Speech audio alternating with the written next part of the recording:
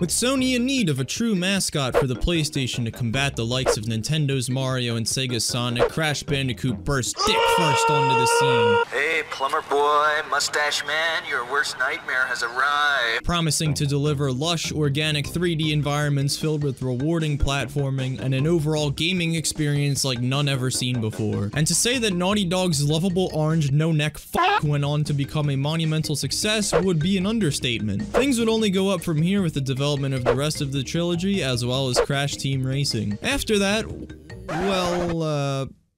Fast forward to 2017 because totally nothing happened at all to Crash between those 20 years. Crash is a perfect franchise. It did nothing wrong. Nothing! Although the original Crash obviously kickstarted what would go on to become one of the greatest platformers and one of the most iconic figures in gaming history, how well does the original experience hold up today?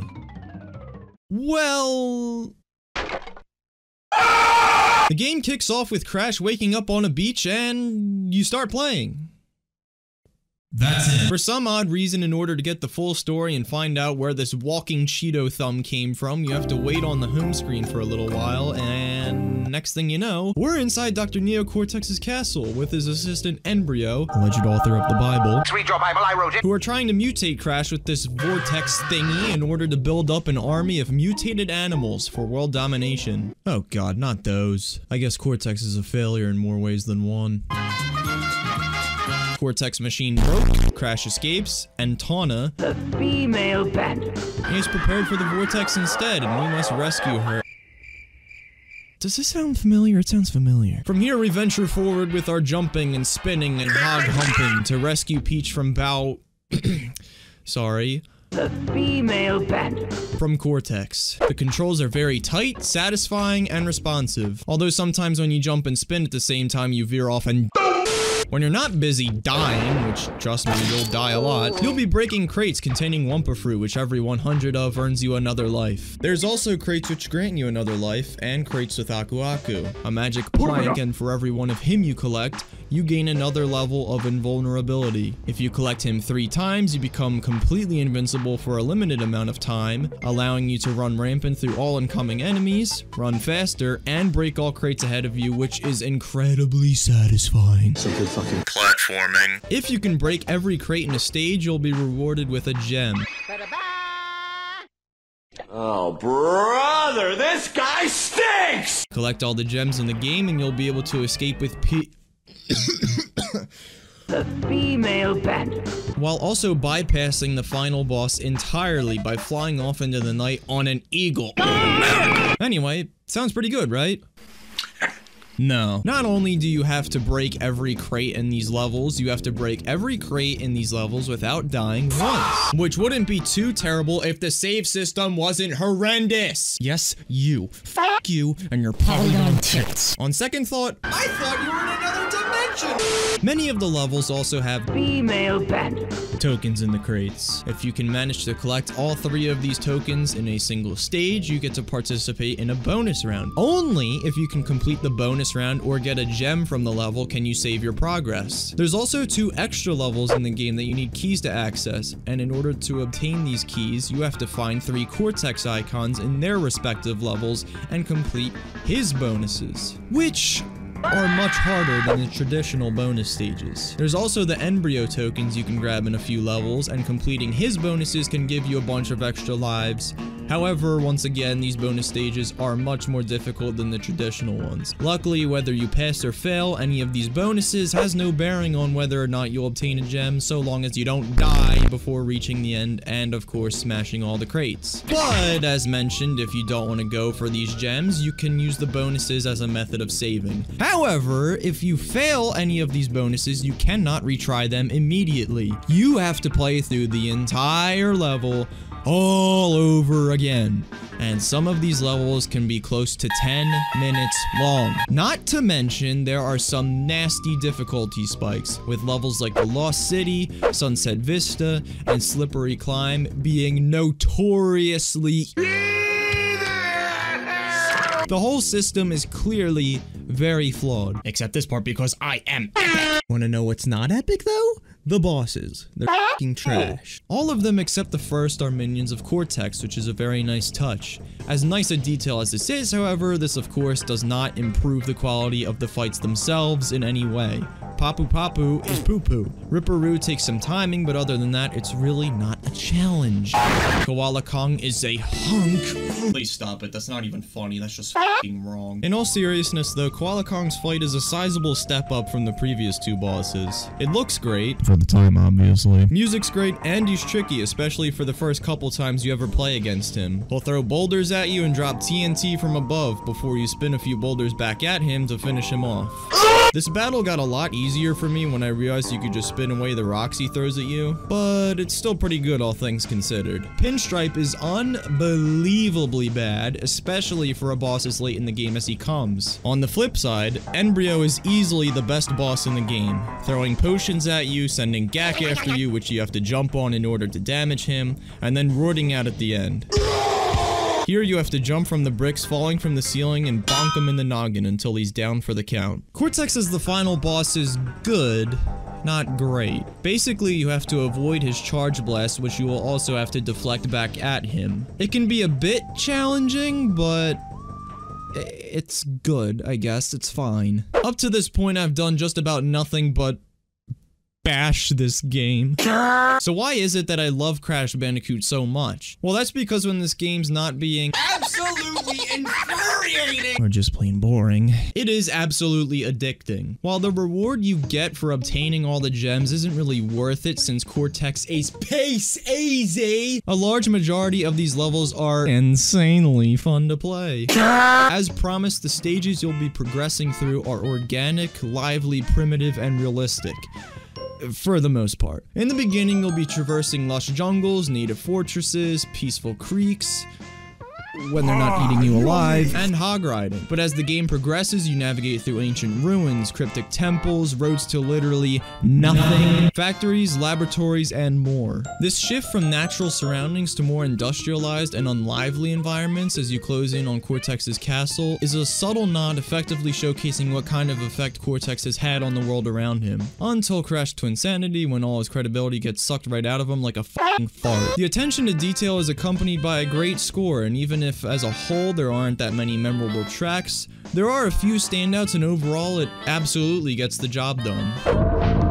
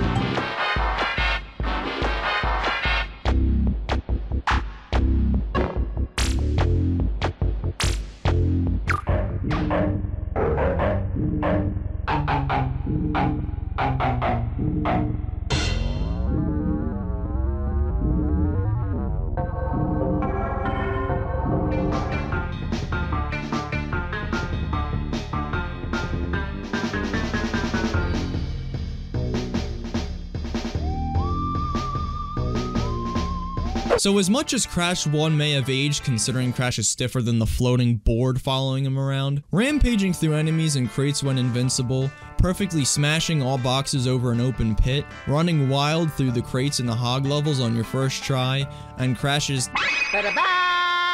after finally acing that stage you've been stuck on for over half an hour never, ever gets old. However, Crash's faulted save system, underwhelming bosses, and bullshit difficulty spikes prevent Crash 1 from being great and instead only very good. So would Crash Bandicoot 2 mix up the formula enough to help take the Crash franchise to the next level? Find out another time because we're reviewing Spyro 1 next. You got a problem with that pussy? Since Spyro the Dragon's debut on the PlayStation in 1998, he and Crash Bandicoot have always been tied at the hip.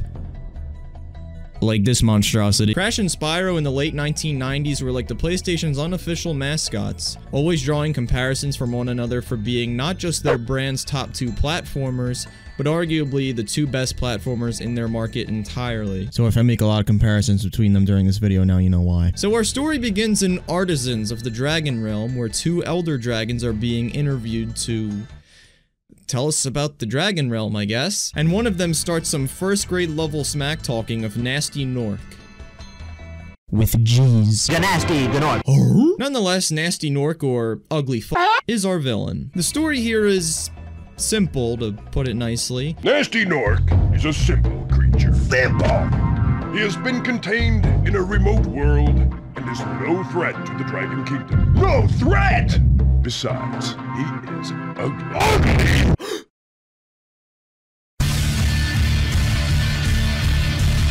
Spyro finds this mildly inconvenient. Looks like I've got some things to do. What a con- Spyro being only slightly annoyed by the fact that his friends could be imprisoned in Crystal for the rest of eternity if he doesn't do anything about it, is made hilariously more irritating by the fact that he sounds like he has a wooden clothespin over his nose whenever he talks. Afraid? Of what? I'll tell you what I'm afraid of, Spyro. I'm afraid you've come down with swine flu. Nonetheless, we're off on our adventure to collect gems and rescue our friend. Oh, Jesus, Spyro, stop doing donuts. This isn't a Walmart parking lot. Going from Crash's snappy turning on a whim in any direction you wish to this long loop is weird. Despite that turbulence, Get it? Because he's a dragon. Spyro is a gem to play as. Spyro can jump, glide, charge, supercharge,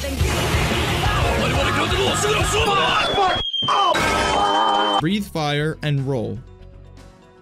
Wait. Roll?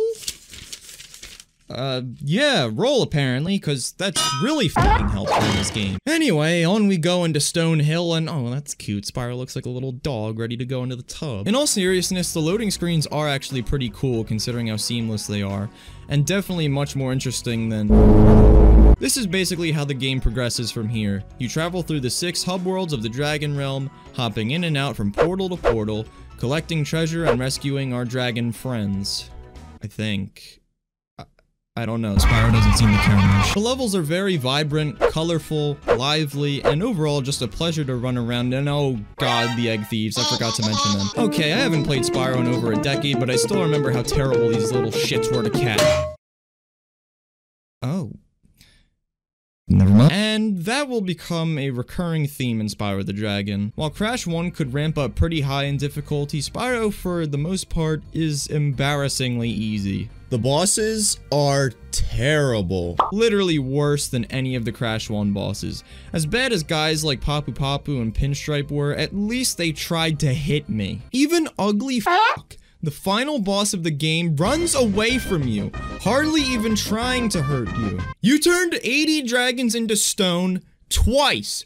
Why are you terrified of what? Spyro 1 does have its challenging moments though, as some of the egg thieves can actually be pretty tricky to catch. I know a lot of people hate these guys because of that, but I actually find it kind of fun running around after them a couple times before figuring out their route and finally catching them. There's also these flying levels where you have to complete multiple objectives such as flying through gates, hoops, bashing treasure chests, and committing aerial homicide under an allotted time. These can be tricky and even a bit enraging. They're the only part of the game I actually had a bit of trouble with, and it works as a nice pace breaker considering how tedious it can be at times exploring the standard levels if you're aiming for 100% completion, considering mainly what keeps the gameplay interesting is the combat. Some enemies can only be flamed, charged, and some are even totally invincible until Spyro gets a kiss and becomes holy. There's tons of other ways to approach enemies as the game progresses, but we don't have time to talk about that because we gotta get on with the gem collecting. And you'll need all the time you can get because some of these gems are very well hidden. Not to the extent that you'd find their hiding spots unfair though. In fact, you'd feel like an absolute brainiac when you find these hidden pathways. So you freed all the dragons, collected all the gems, and you've gotten all the eggs back. And the 100% reward you get for that is actually pretty cool, even though up to this point I'd seen enough gems for a lifetime. Ugly F***'s bonus loot level is very satisfying considering the insane amount of treasure you collect. And you get a cutscene after of dragons playing basketball with a sheep. Animal abuse. Speaking of the dragons, each of the 80 dragons you rescue has unique lines recorded for them. Run! Okay, a few of them repeat themselves, Thank you for releasing me. Thank you for releasing me. Thank you for releasing me. I've shit my pants. but this is still all very impressive and oddly charming, even if they do say some very obvious stuff here and there. Here's a hint. Metal armor is fireproof, but a charge attack will take care of them. That's not even a hint, that's just a cheat sheet, you fucking numbskull. And who could forget the most infamous line of all? Spyro, it's great to see you. But I've got to go. Go do what, Cletus? Tend to your farm? Suck my dragon dick! While Crash Bandicoot was going for a 3D experience, it was still mounted to a fixed camera, whereas Spyro goes all the way with a camera you control in a free-roaming environment which can help make the levels feel much more open and engaging, creating the sense of going on a proper adventure rather than being on a fixed path. You're free to explore the worlds in whatever way you please and to play them in whatever order you want, although good luck to you because some of these levels run slower than Gary during the snail games. Accompanying the levels is a pretty good soundtrack from the drummer of the police. I wouldn't say the soundtrack as a whole is as strong as Crash 1's, considering a lot of the tracks honestly just blend together and sound the same to me. Many of the tracks themselves are great, don't get me wrong, but they just get repetitive listening to in quick succession. In isolation, they're fantastic, and there's definitely a few bangers.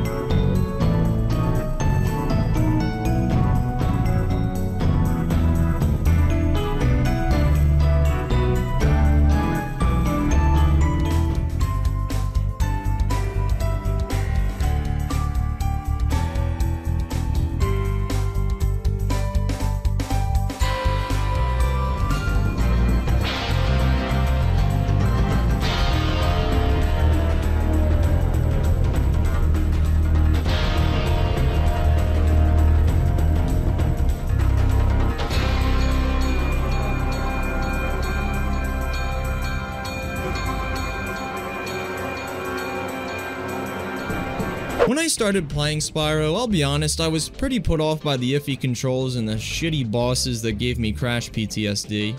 But looking past all that, Spyro at its core is a fantastic, free-roaming, fire-breathing, world-hopping platformer that set the gaming world on fire, and rightfully so. Only to have the ferocity of that fire quenched by questionable controls, a repetitive soundtrack, so many gems to collect that it honestly becomes a chore to 100%, and without a doubt the worst bosses I have ever played against. On the bright side, of course, Spyro has loads and loads of untapped potential, so I'm excited to see what adjustments were made to take the sick bully to new heights. As Spyro said, I'd say the sky's the limit. Speak. Fuck! Good boy. Crash Bandicoot's heart was in the right place with simple, rewarding gameplay and a beautiful soundtrack, but left much to be desired from its bosses, save methods, and difficulty curve. So how would Naughty Dog deliver a more satisfying experience one year later? Lots of screaming. Crash Bandicoot 2 picks up right where we left off, defeating Cortex after our previous adventure and sending him plummeting to the ruins below. Luckily for him, the Doctor finds power crystals in these ruins.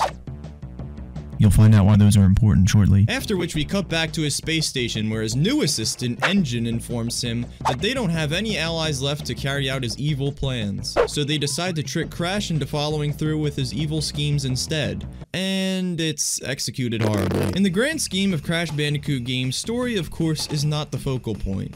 It's the gameplay. However, this is impossible to just brush aside because here they try to have this manipulative storyline going on throughout the whole game when the actual motives are blatantly revealed immediately. Then N. Brio suddenly appears and tries to tell you to gather the gems to destroy Cortex's space station because Cortex is trying to turn everyone on Earth into mindless slaves, which is absolutely true because you see him talking about the exact same thing with Rocket Dome over here. All you have to do is just prove the first two cutscenes of the game out of existence. Now, it might be at least a little bit more believable that Cortex turned face. I mean, there's the obvious issue with the title too, but...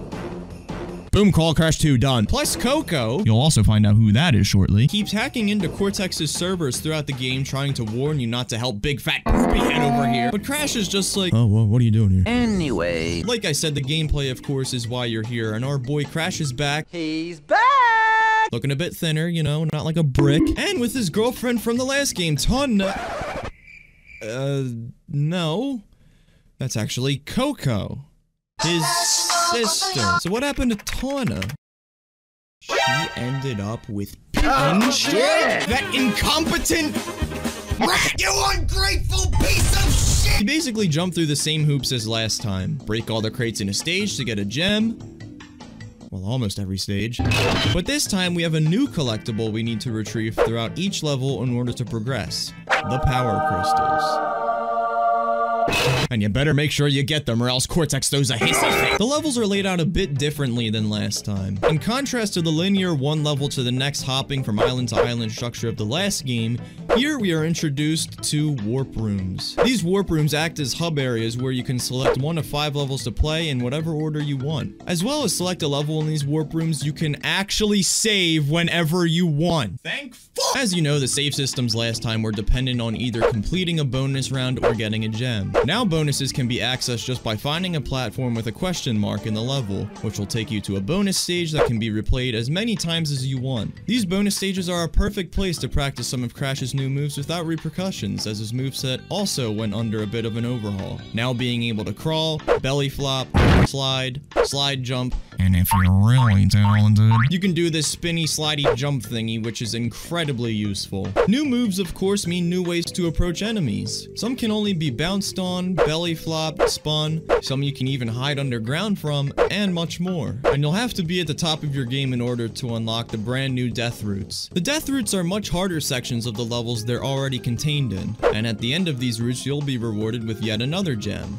In order to collect the regular box gems, sometimes you'll need to be able to access these routes, because some of them contain the boxes you need. I'm looking at you digging it, you maniacal f***, making me backtrack and shit. And you have to backtrack quite a few times in levels like Cold Hard Crash and Piston It Away. And it is mentally exhausted just thinking about it. Oh my god. There's also five color gems you need to collect, some of which are obtained through secret pathways and time trials. Or by cheating. And these gems will unlock even more pathways to get even more boxes and more gems, and yeah, you're gonna keep yourself really busy playing this game. Speaking of secret pathways, there are five levels in the game which contain secret gateways to a secret warp room containing five more levels. Three of the five gates in this warp room are just extensions to pre-existing levels, whether it be for a colored gem, or if they take you to sections where you can break more crates that you missed in your original run. However, two of the gates are to brand new levels containing two more gems, not to mention there's even more boxes compared to Crash's first entry, speaking both numerically and as in new types of boxes. There are newly added nitro crates which you die simply by touching. Good news is you can bash these green steel crates in order to remove all nitro crates in a level, at the cost of your own hearing of course. There's also reinforced steel crates which you have to belly flop to break. Well, that was anticlimactic. Don't get too comfortable doing standard crash platforming because now you've got jet skis to drive, polar bears to ride, and once you're done with your furry friend, You can thank him by bleeding into a bloody pool to fuel your own selfish desires. And of course, there's the brand new hover pack, which you'll use to avoid lasers, bombs, and tentacle form. If only I had a hover pack to avoid talking about these bosses. Nice segue, man. Ripperoo is back looking all scholarly, doing some not so scholarly things. So you have to avoid the TNT he plants on the ground and then Nitro until he blows himself up with it, allowing you to go in and spin him for the kill. Why a spin from Crash possesses more destructive force than explosives, I don't know. The Komodo Bros do I really have to say anything? Next up is Tiny, uh, sorry, Taz the Tiger, who's my favorite boss in the franchise up to this point. As he pursues you, you have to evade him by leaping from platform to platform until the rings you jump from start blinking red, which you have to then lure him into jumping towards because once they stop blinking, they fall. N. Gin is up next, piloting a mech that shoots lasers, missiles, and more lasers. Wow! Surpassing Tiny, N. Gin is the best boss of the franchise so far, ignoring the fact that his mech is destroyed by fing fruit. And it is such a shame that Cortex follows him up with, bar none, the worst boss battle in the original trilogy. Worse than Papu Papu, worse than Pinstripe, because just like some Spyro 1 bosses, Cortex doesn't even try to hit you. You just follow him through an asteroid field and hit him three times before he can escape. Whatever Crash can accomplish through its gameplay, as usual, is made up for with its terrific soundtrack, as Josh Mancell strikes again. Or in this case, Back. Funny stuff.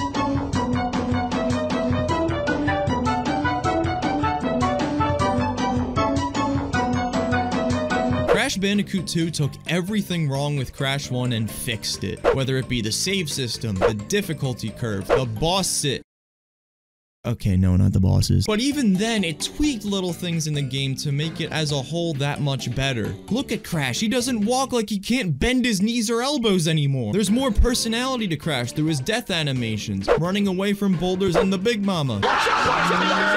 There's more variety and overall graphical improvement to environments. The soundtrack accompanying them is even better than before. Yes, there are bits of level design and camera work that could have been executed a bit better. Bosses could have had a bit more thought put into them. And the story is stupid. But the positives here far outweigh the negatives. Crash 2 did exactly what it needed to do. It took Crash Bandicoot from a heavily flawed, dumb fun experience to something genuinely great and timeless. But of course, there's still room for improvement. How will Crash 3 take things even higher? We'll find out after seeing if Spyro 2 could follow in Crash 2's footsteps. Considering Spyro the Dragon is considered one of Sony's two greatest mascots of all time alongside Crash Bandicoot, I of course had high hopes delving into the Dragon realm. What I found instead was a stockpile of Dragon dung filled with clunky controls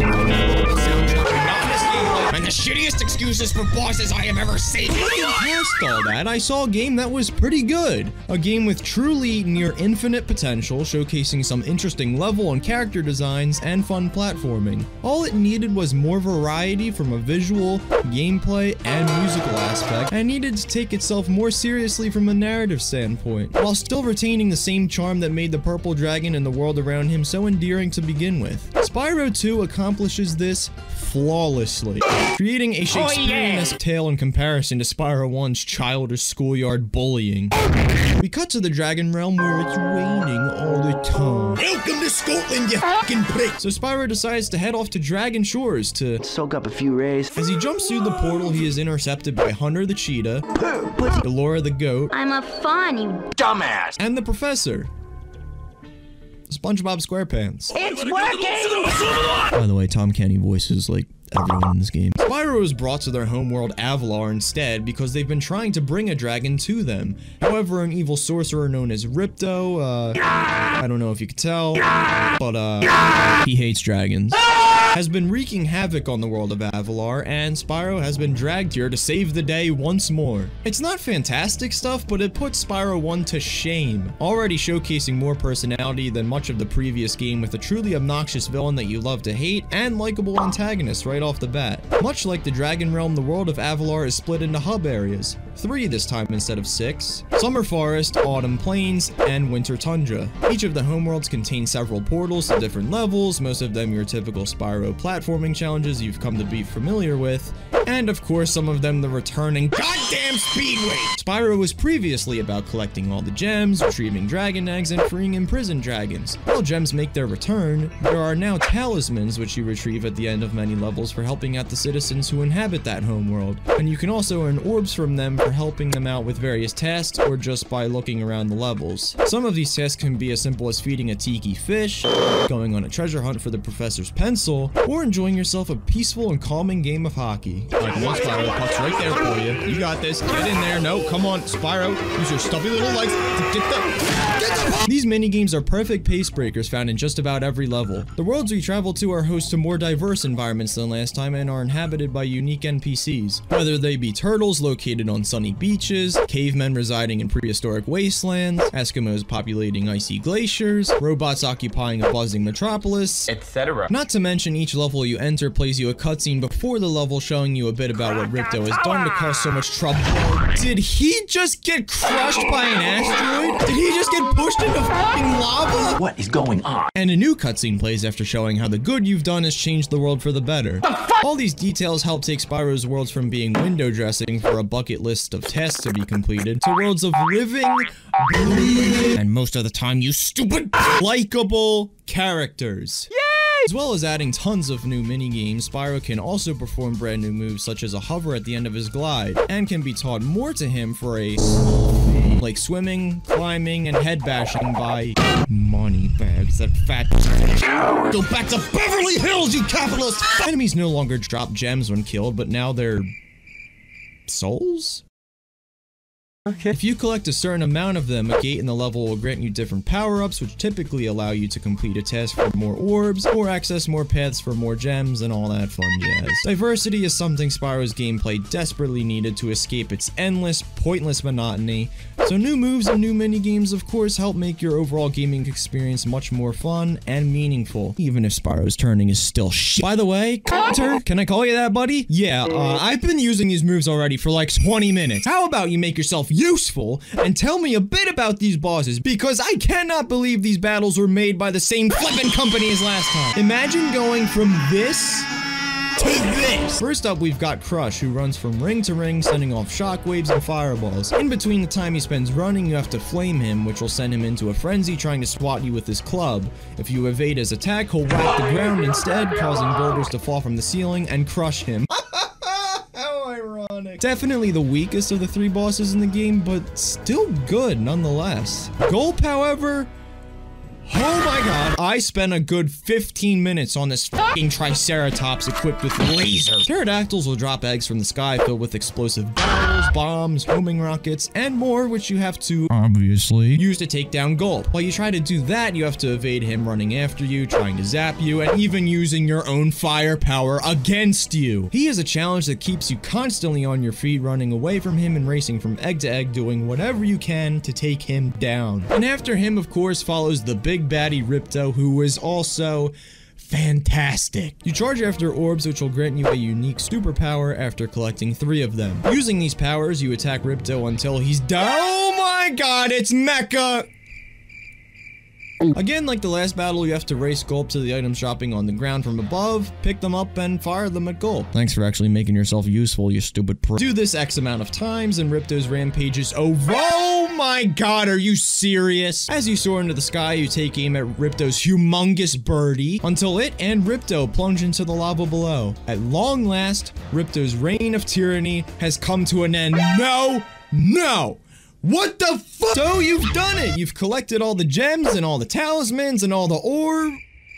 Actually, no, for some reason that I will not complain about. You only need to get 8,000 of the 10,000 gems and 55 of the 64 orbs to access the kinda sorta bonus endgame area Dragon Shores. By the way, I didn't explain this at the beginning, but you need orbs to power the portal to Dragon Shores, so uh, yeah, that's why you're collecting them. Here there are several attractions such as laggy cannonball roller coasters with baby turtles tied down to the tracks, and tunnels of love that promote bestiality. After completing any one of the park's mini games, you'll be awarded a token. Once you get 10 tokens, you'll be allowed access to the Dragon Shores Theater, which is just a device used to replay all the storyline cutscenes you've seen so far. a bit disappointing considering I was hoping for a bonus cutscene, but at least it's not as disappointing as the 100% reward.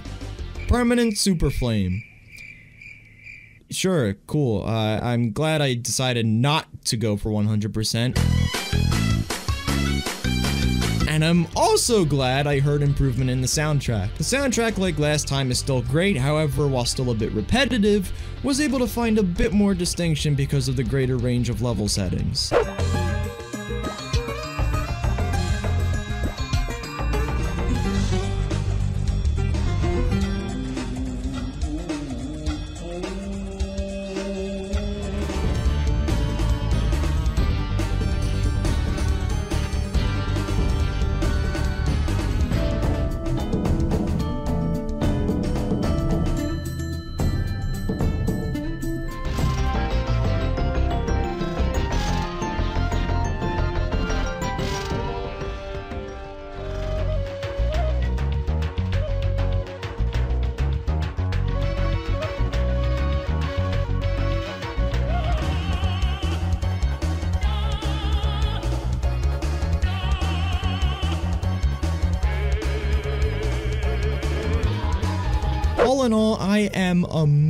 Amazed by how much of a leap in quality Spyro 2 took from Spyro 1. There is so much depth and personality to the NPCs, Party hits. our new antagonists, and our new villains. The worlds we travel from feel so much more alive thanks to their charming inhabitants and the cutscenes played prior to and preceding them. Innovative level design and new moves keep things far from being tedious like before, and I cannot stress enough that the boss battles are by far the biggest improvements made. Sure, I can nitpick the soundtrack still being a bit too much of the same, and Spyro's turning being a wee bit well, shit. But I'm gonna choose to look past that here because Spyro 2 is a goddamn gem, and I am thrilled to see what Spyro 3 brings to the table. But first, let's take a look at the final installment of the Crash Bandicoot trilogy to see if Naughty Dog could put icing on the cake of their own phenomenal sequel. Emerging from Naughty Dog as one of the top gaming mascots of the industry in the mid-1990s, Crash Bandicoot made quite a first impression with its colorful worlds and satisfying gameplay. However, it was dragged down by its underwhelming boss battle battles, ludicrous save methods, and difficulty spikes.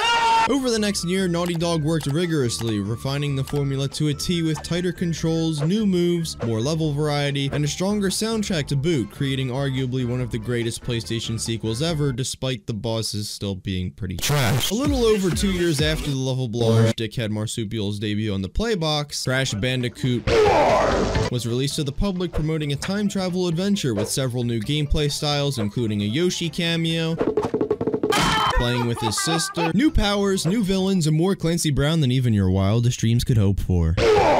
But would Naughty Dog's renovations to the classic Crash formula be the cherry on top of the Crash trilogy? Yes, what kind of dumb question is that? Did you hear me? There's more Clancy Brown. Look, look, look. He plays this evil talking board who is Cortex's boss? When was it ever hinted at that Cortex was working under someone? This is just kind of shoehorned in here as a means to progress the plot, and I just... Mm. Whatever, you know what? Who cares? I'm just here to mash the buttons. But I will not mash them buttons just yet because I've got to let Mr. Uka Uka. Uh, it's Aku Aku backwards. Get it? Cause he's the good one and he's the bad one. Scold Cortex for being a naughty dog. For allowing... But infernal to foil his evil plans twice, but in the process of doing so, Cortex's space station crashed, setting free this spooky boy from his temple prison where his twin brother Aku Aku locked him up long ago. However, with no crystals and gems left on the earth in the present day to power their worldwide conquest, Cortex and Uka Uka utilized the Time Twister machine built by Dr. Nefarious Tropy, the original Dr. Nefarious to retrieve crystals and gems from the past and future. well, unless we get to them first. Unfortunately, with these new funky jumping physics, our chances of getting to them are pretty low. Okay, they're not that bad, I just needed a segue. Before you used to be able to stop yourself in the air whenever you wanted, but now Crash will drift toward whatever direction he was initially moving, even if you try to pull him back. It's really not bad, it just takes some time getting used to, especially playing these games back to back, so it was worth mentioning to me. And hey, at least when you bounce on these crates now, you get two Wumpa instead of one, so that's cool. Speaking of cool, how about all the different game modes and time zones featured in the game? First off, we've got medieval, prehistoric, Egyptian, and futuristic levels featuring your classic Crash Bandicoot platforming. Spin, slide, and jump your way through the gauntlets gathering crystals, smashing crates, and grabbing Wumpa, and doing some silky smooth moves. Oh, and don't worry, you've still got your signature chase levels, but instead of boulders, which is what we've been mainly accustomed to, except for that one time we pissed off a bear, well, things haven't got much better for our buddy old pal Crash, because now a Triceratops wants to munch on his giblets. But I guess you could say Crash got tired of running from imminent death and decided to swim with it instead in the form of Shanks. Yes, that's right, kids. You're about to go on the most okay diving experience of your life. I mean, hey, variety's good and all that, and I appreciate Naughty Dog wanting to spice things up, but this is just... okay. Anywho, I do got a bit more to say about these bike racing levels, and it's not too good. They're not too bad, it's just that the other racers are kinda assholes! Your motorcycle controls okay, but it could be a lot better. No matter how much you try to slow down or drift into turns, you just find yourself sliding into the desert, which the sand has always reminded me of Cool Ranch Doritos for some reason. I don't know why, can someone please help me? These levels aren't all bad though, because slithering by these desert rider douchebags by the narrowest of margins on your way to victory is one of the most euphoric things I have ever experienced in a video game. But how about we talk about the complete reverse opposite of Euphoria? These heckin' plane levels. The one with Coco isn't so bad. Mad Bombers, though...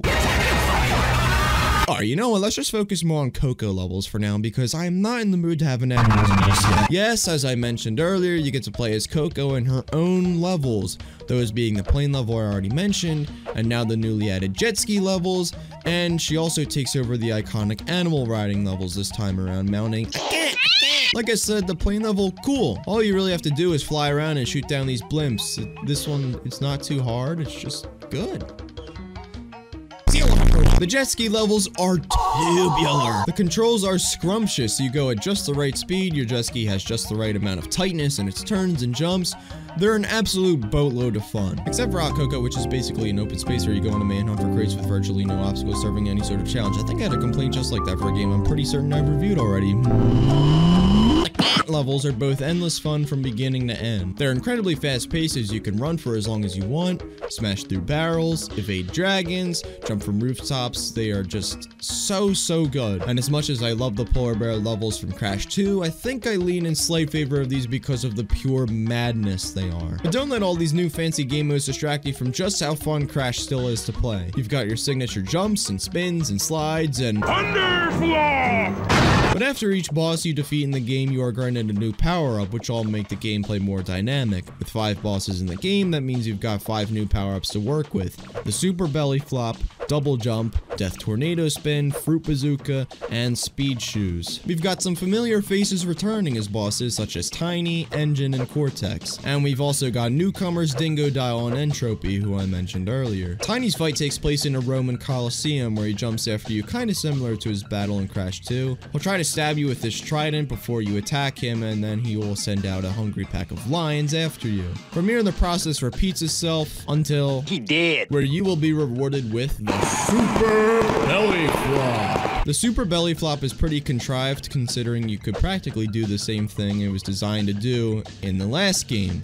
So it just comes across as they couldn't think of another power flop, so they just retconned your regular. Up next is Dingodile, and boy howdy, he is a thriller. I love him! Using his flamethrower, he will shoot fireballs into the air, which will throttle down and crash his direction. After avoiding these, he will shoot fire through his crystal shield, which will give you the chance to attack. As the battle goes on, his beams become more accurate, and by the end, he'll even start shooting two fireballs at once. It's really intense and absolutely my favorite Crash boss both as a character and as a fight in the franchise up to this point. You thrashed me, mate. No worries, but you'll soon be up against much worse. I mean, come on, with lines like that, how can't you love them? And how can't you love a good shortcut? Look how easy it actually is to beat this jump. Thrashing Totodile will grant you the double jump ability, which is pretty fun and also pretty self-explanatory. So moving on to the Master of Time and Space. Poor guy has no idea what he's in for. N. Tropy uses his giant fork thingy to shoot fireballs and lasers at Crash. After avoiding the obstacles, he'll slam his fork thingy into the ground, knocking the wind out of himself, creating a path for you to jump across and attack. Repeat this three times over and you've got yourself the Death Tornado Spin, which is my favorite power-up in the game. The Death Tornado Spin acts not only as a longer spin attack, but also as a glide maneuver for Crash to surpass large platforming gaps, which is inherently satisfying. Well, you want to talk about really satisfying? N. Gin's boss battle here is for one thing, it's a two-phase battle, which we haven't seen from Crash Bandicoot before. Kinda. Where after defeating N. Gin's mech the first time, it transforms into another mech. Secondly, it takes place on the moon. And finally, it's Coco piloting a spaceship versus a giant mech, which shoots homing missiles, homing bombs, plasma balls, and has a death machine straight out of Call of Duty. And it's only fitting that the power-up you receive for defeating him is a fruit bazooka. And it's as cool as you'd expect. So you really have to use it. But then again, you don't really have to use any of these power-ups, do you? Remember how stupid Cortex's battle was in Crash 2? Well, he's made quite a comeback from last time. I mean, he's still the third or fourth best boss in the game, but hey, considering all of these bosses have actually been pretty good for a change, and he was literally one of the worst boss battles of all time in Crash 2, yeah, that's a good little spot for him. So the Mass Brothers start off in a beam struggle weeb style while Cortex throws mines on the ground which you have to dodge until you make his way over to thump him into this black hole only for him to rise back up and holy! Then the two Mass do this tornado thing while Cortex tries to shoot you with his ray gun. Starts throwing mines again, black hole time, Oh, hi, Mark. explosions, more mines, more spins, Dead. granting you the final power-up of the game, the Speed Shoes, which are used to help you complete the newly added post-game challenge, Time Trial Mode. Time Trial Mode is very simple but can be infuriatingly difficult. Grab the clock at the beginning of a level to race to the end as fast as you can to get one of the three rankings of relics. Sapphire, which are the easiest to retrieve since you could practically get them from playing blind and with no hands. Gold, which leave room for you to make a couple mistakes, but you still gotta stay sharp.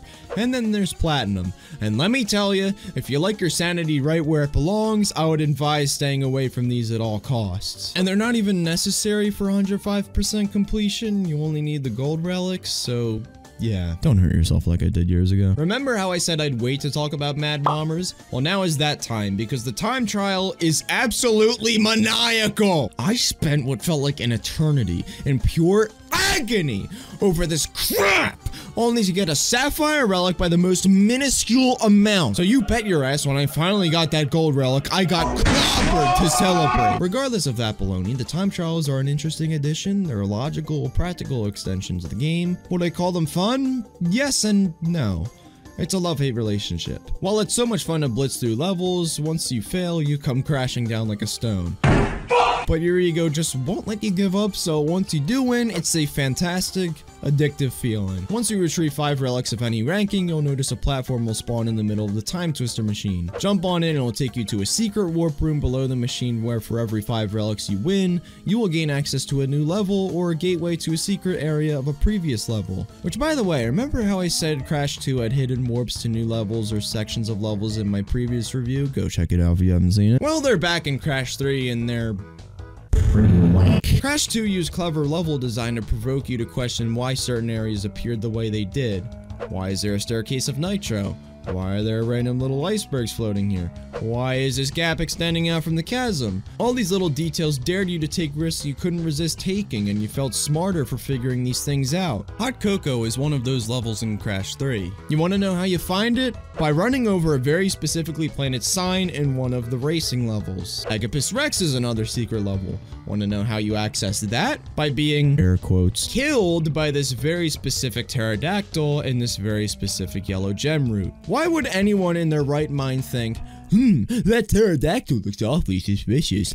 You wouldn't! You would find this stuff by complete accident, and maybe that was Naughty Dog's intention to blow your mind when you think you're dead or you messed up or whatever, you get transported to this new world. I don't know. But if so, I think that's just a mistake on their part and takes away part of what made Crash 2 so rewarding to play. Anyway, unlocking all of these levels, of course, gives you the opportunity to retrieve all the gems and relics, and retrieving all of which will get you to 105%. Once you reach that, defeat Cortex again, and you will be treated to a bonus ending where the Time Twister machine gives in on itself because N. Tropy is not around to keep it stabilized, which is nice foreshadowing followed up on from before. Without Dr. N. Tropy's constant care and control, who knows what it will do? This sends Cortex, N. Tropy, and Uka Uka through what is presumably an infinite wormhole through time as babies? Alright, cool. And hey, Josh Mancell's pretty cool. He's got some sick new tunes on the block. The best yet!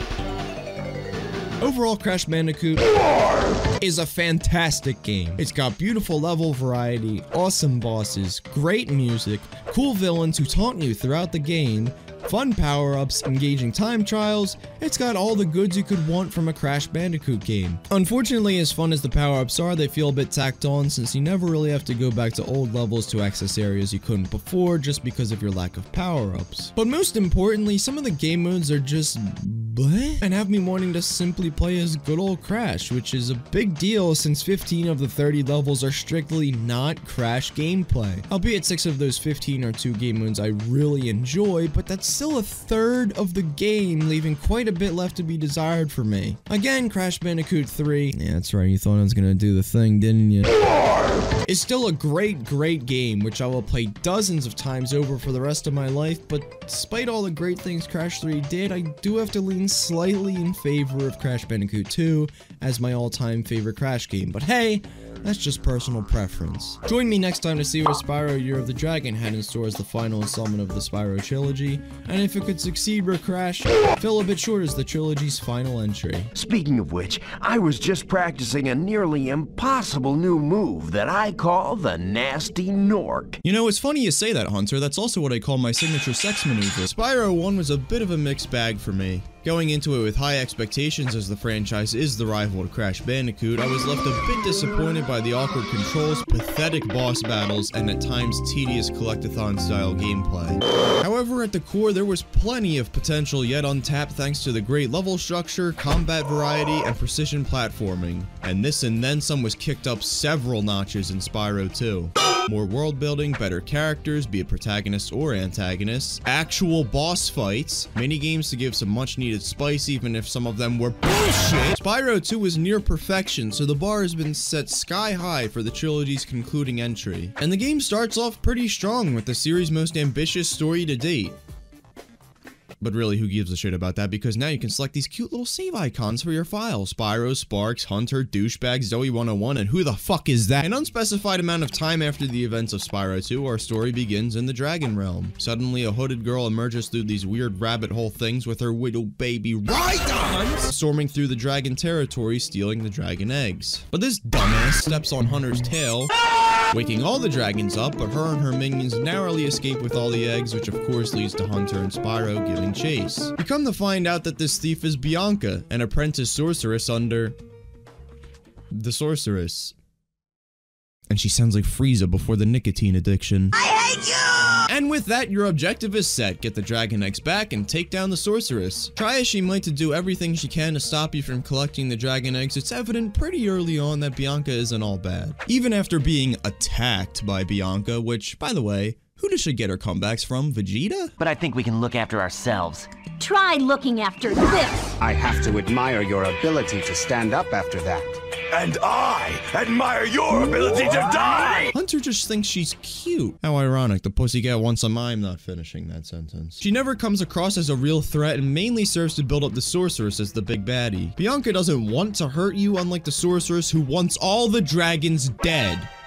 Fuck! This revelation sparks Bianca, who looks way too happy hearing about this, to make a full turn to the good side which had been teased throughout the game. At one point, she tries to create a monster out of a rabbit, but when the beast turns on her, Hunter jumps in to save her, and this is when a connection really starts to form between her and our heroes, especially Hunter.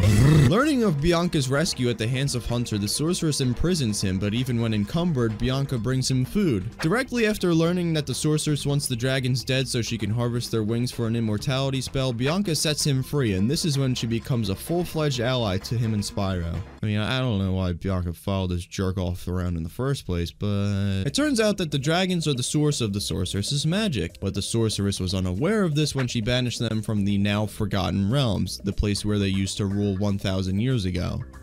Wait a sec, dragons ruled the world?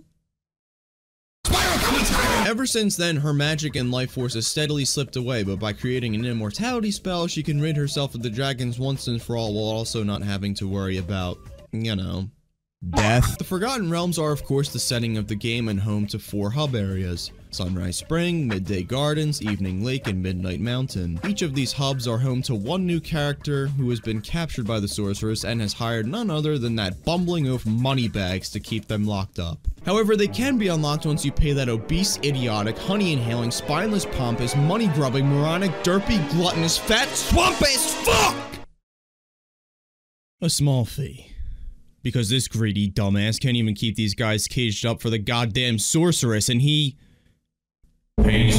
When each of them kick his honey stuffed ass, and it is quite the cathartic little thing to witness. But what is even more satisfying is when you get to pummel him yourself for all your gems back at the end of the game. However, many of the gems you collect are not going to be collected by Spyro himself, but rather our four new friends I alluded to a moment ago. First up is Sheila the Kangaroo. She controls very similarly to Spyro, and in my opinion is easily the most polished out of the four new playable characters. Well, there's actually six new playable characters, but We'll get to that. Anyway, she can jump, double jump, mega jump, kick, and stomp, which is her take on Spyro's head bash, and she moves a bit faster than Spyro does when he's normally walking. While Spyro specialized in horizontal style gameplay due to his gliding, she's more of a specialist in the vertical aspect of things due to her mega jump. She's Australian because of course she is, is generally friendly and easygoing, but will literally kick ass if it comes down to that. I like her a lot. She's also a terrorist. Speaking of kicking gum and eating ass, Sergeant British Bud is a no-nonsense military sergeant, although he quite funnily picks at the gaping plot hole as to why he couldn't just blast himself out of his cage. These are the latest military hardware. DBX-9 rocket launchers, state-of-the-art. So why didn't you use them to escape? Eh, eh, because he's equipped with missiles, can fly, pick up objects, and he looks like he has seen some shit! Even though he's way too floaty, he's still decently fun in my book. Seriously, I have a book the Lusty Argonian made. Give it a read. If you're over 18, of course. Looking at Bentley the Yeti, you'd think he'd just be a brainless brute who smashes shit, but it turns out he's actually pretty sophisticated and has an expansive vocabulary. Why, you brazenly avaricious, duplicitous, larcenous ursine! I have no idea what you're saying. He does indeed smash shit, as I said, but you can also use his club to deflect incoming attacks. Although he's on the slower side, his simple yet destructive playstyle keeps him pretty fun for me personally when he's not being haphazardly thrown into boxing matches because his brother's a cowardly milk drinker who has a seat ready for him at Weenie Hot General with his name on it. And finally, we have Agent 9, an excessively trigger-happy monkey who's gone completely He's practically a pre-pre-pre-alpha test drive of Ratchet and Clank. He can throw bombs, fire lasers with his blaster, and even has a sniper mode. However, he has no real lock-on for his blaster, and his strafing feature is awkward as hell. You can use R1 or L1 to strafe right or left, however, when you do, you will be locked into moving into that direction. In Ratchet and Clank games years down the line, you can hold down R2 or L2 to enable strafe mode, but you can still move freely. Here, he's just so Unlike Spyro, who besides that godforsaken turning that I swear I'm the only one who has ever had a problem with, is as smooth as ever. He's still great fun to glide and charge and flame all over the place with, and he even keeps his abilities he learned from the last game, like swimming and head bashing. And climbing ladders. Wow. Levels are colorful, diverse, and oozing with the typical personality you've come to expect from the geniuses at Insomniac. Alongside the dragon eggs, you as per usual also collect a jet. I said you collect the jet. Normally the gems are supposed to gravitate towards you when you get near them, but this glitch happens at least once a level to me where that just doesn't happen? I've complained about how tedious the gem collecting can be at times with this series, and this bullshit is not doing the game any favors. Also not doing this game any favors is the lack of cutscenes before and after each level like there was in Spyro 2. They were a huge, memorable highlight and went a long way in building the world you're playing in, and making everywhere you travel to feel like a place that existed before Spyro's arrival and would continue to exist after his departure. Regardless, the levels are still as creative as they've ever been. Like I said, Enchanted Tower spiraling towers, Firework Factory and its rivers of lava and grand castles, and Crystal Island's blissful landscape and atmosphere are just a few of the incredible set pieces. Oh, and you can't forget the ASMR penguins of Frozen Altars. Would you mind taking my place? Dragon eggs are of course scattered throughout every level. Sometimes they're just out in the wide open and easy to find. However, others can be really cleverly well hidden, but not absurdly hard to find like some of the secret routes of Spyro 1. And before anyone gets on me about Crash bias, yes, Crash 2 pulled off this bullshit too sometimes, and don't even get me started on Crash 3. Not only are the Dragon Eggs retrieved simply through exploring the different landscapes, but also through the returning minigames, and oh boy, I've got a lot to say about these. There's some really fun minigames like the Whirlpool Tunnels, the Golden Goose Hunt, and the skateboarding challenges when Hunter's not harassing you. Sheesh, what happened? I could beat these guys with my tail tied behind my back. Shut the fuck up, Hunter! You couldn't beat Joe Swanson in a game of hopscotch! You ah! bitch! The Speedway challenges make their triumphant return as well, but the tasks you're prompted to complete by Sparks are for gems only. You have to find Hunter hiding somewhere out in the level in order to activate the Dragon Egg challenge. This was a thing in Spyro 2 with the orbs, obviously, but I didn't touch upon it because I didn't even need to do any of the Speedway since I already had enough orbs to get into Dragon Shores. I mean, when Hunter's hiding spots are this bullshit, can you really blame me for blowing them off? As for the challenges you get assigned by Hunter, it's basically just killing space farm animals most of the time. They're wacky, but they control super smoothly, so they're also really fun. And for our final playable character, we have Sparks, the thing that's been protecting you throughout this entire trilogy, like Aku Aku, who I somehow forgot to mention this entire time. Yay! Sparks' levels can be accessed after beating the world's boss. They're a top-down view arcade-style minigame where you have to venture through many different corridors and rooms collecting gems and poning noobs until you reach a mini-boss at the end of the level. Sparks can charge, fire, use power-ups for more potent attacks or temporary invincibility, and after beating the level not only do you receive a dragon egg, but Sparks also learns a special ability to help Spyro throughout the rest of the game. Spyro can grab gems from further away, let Spyro take an extra hit on top of the four he can already withstand, open treasure chests, warp to any level through the game's atlas, and in my opinion the most important one of all, you can hit all the shoulder buttons at once to point you in the direction of the nearest gems. This function alone would improve the gem collecting across all three games tenfold, and I really wish the developers thought of this sooner.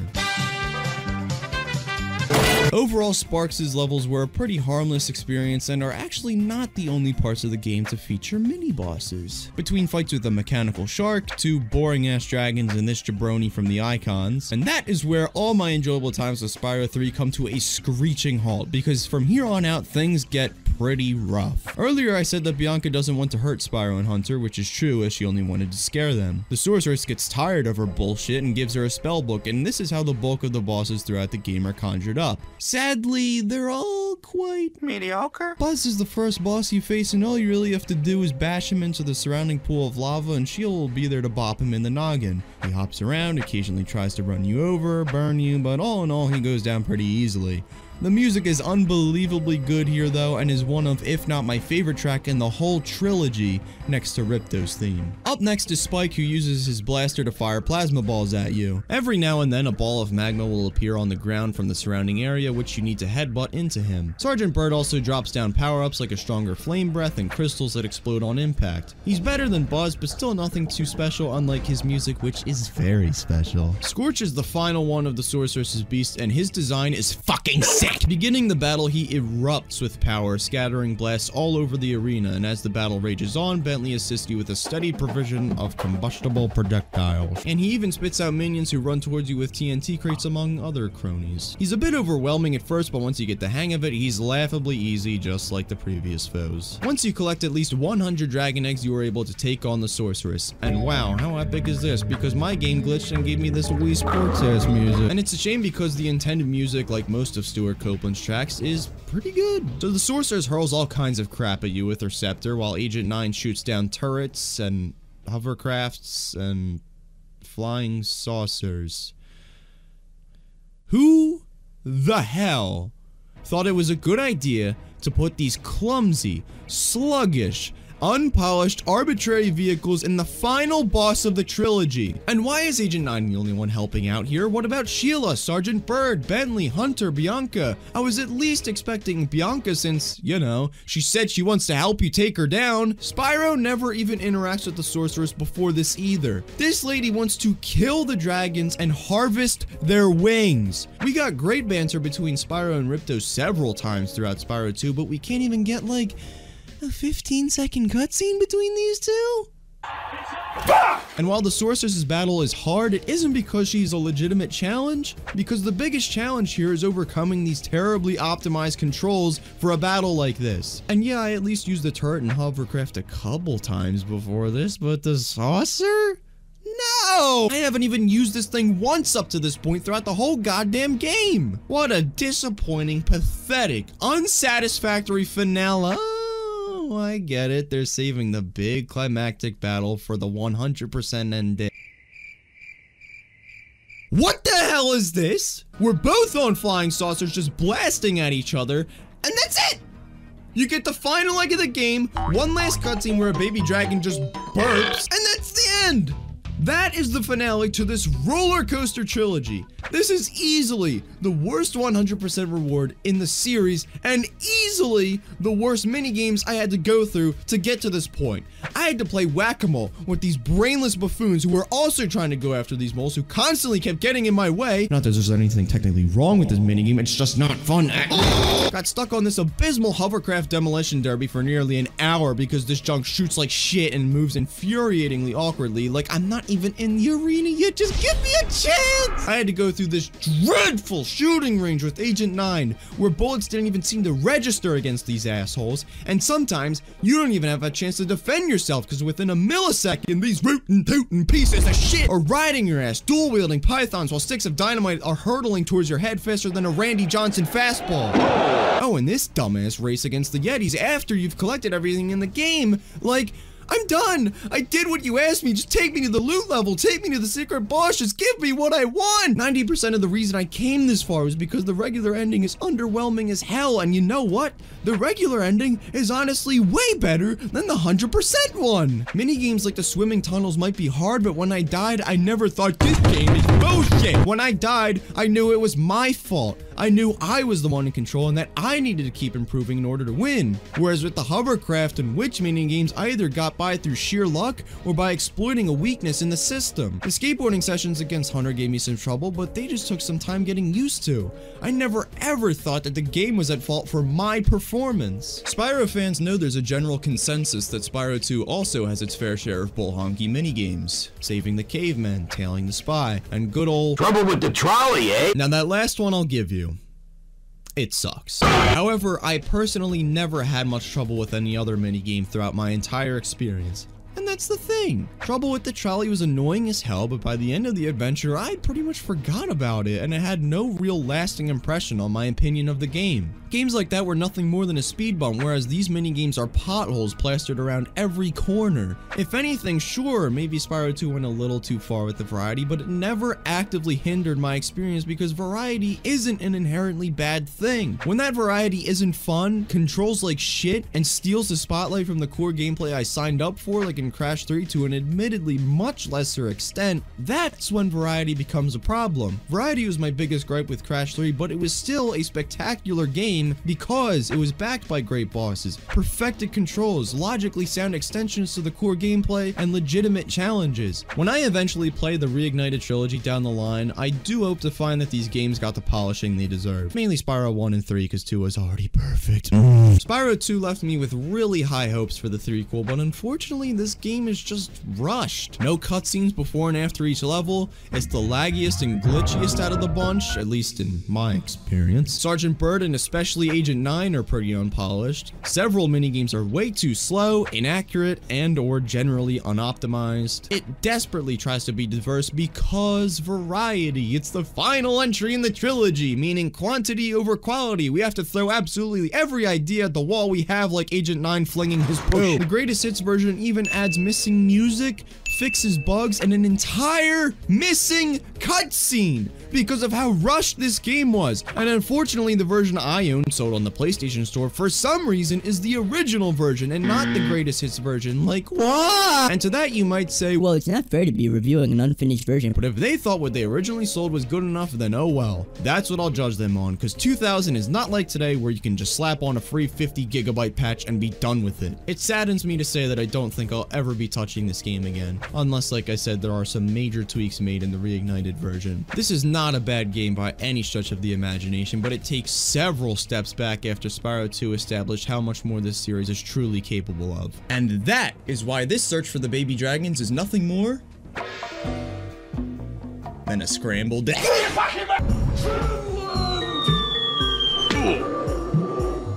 After the astounding success of the box-bashing Bandicoot, okay. Naughty Dog had to put the poor dog down to avoid being tied down by Universal Interactive. Wanting to develop games strictly for Sony, this unfortunately had to lead to the team parting ways with the Bandicoot, the poor thing, going on to develop their next hit series, Jak and Daxter. While on the surface, the series received similar levels of praise, don't let that understate the monumental leap in quality Naughty Dog's newest undertaking took, and not just because of the sheer power of the new hardware found on the PlayStation 2. Naughty Dog decided to push their previous limits with a, while not earth-shattering, more in-depth story this time around on an unnamed planet powered by the mysterious energy known as Eco, created by the Precursors. Samos the Sage, the master of Green Eco and narrator of the opening cutscene, introduces us to protagonists Jak and Daxter, who make their way over to investigate the prohibited Misty Island against the Sage's orders, only to be ambushed by a lurker which causes Daxter to be knocked into a pool of Dark Eco and... We must revert Daxter back to his old self, but the only way to do that is to confront Gol Acheron, the Dark Eco Sage far to the north of their native village. However, Samos can't just simply teleport you there because none of the other sages have opened their portals for an extended period of time. So the only way to make it north is to traverse Fire Canyon with Samos' daughter Keira's A-Grav Zoomer, and even that requires 20 power cells to charge the heat-resistant shield. And so from there, you embark on your adventure collecting as many power cells as possible from the locals across the land in exchange for precursor orbs, or for performing various tasks for them such as bringing a sculptor back his lost pet, doing some fishing, and protecting this guy's snacks from swamp rats. And for every power cell you collect, Jak and Daxter perform some sort of celebration and that's an epic gamer moment. You can also find power cells scattered throughout the wild, or exchange 120 orbs for them from Demonic Cookie Monster. And you can also get them by setting free 7 scout flies from each area of the game. I felt very motivated to continue collecting anything I could because the various landscapes are so much fun to explore from peaceful beaches to snowy mountaintops and even a lost underwater city. But man, fuck this stupid cave! While the saturation and contrast can be a little overbearing at times, you just can't help but gush over and be sucked in by the charming, hypnotizing atmosphere, which was for sure mind-blowing in 2001 and still holds up incredibly well today. The composer of the original Crash games, Josh Mancell, even sticks around for this new venture. And while for the most part he doesn't create bangers like he did in Crash 2 and 3, except for this boss fight which sounds like Crash and Kirby engaging coitus and I love it, he does return to his Crash 1 roots a bit to deliver some serene ambiance. The music is even a bit dynamic as well, as the instruments alter slightly as you reach different branches of the same area.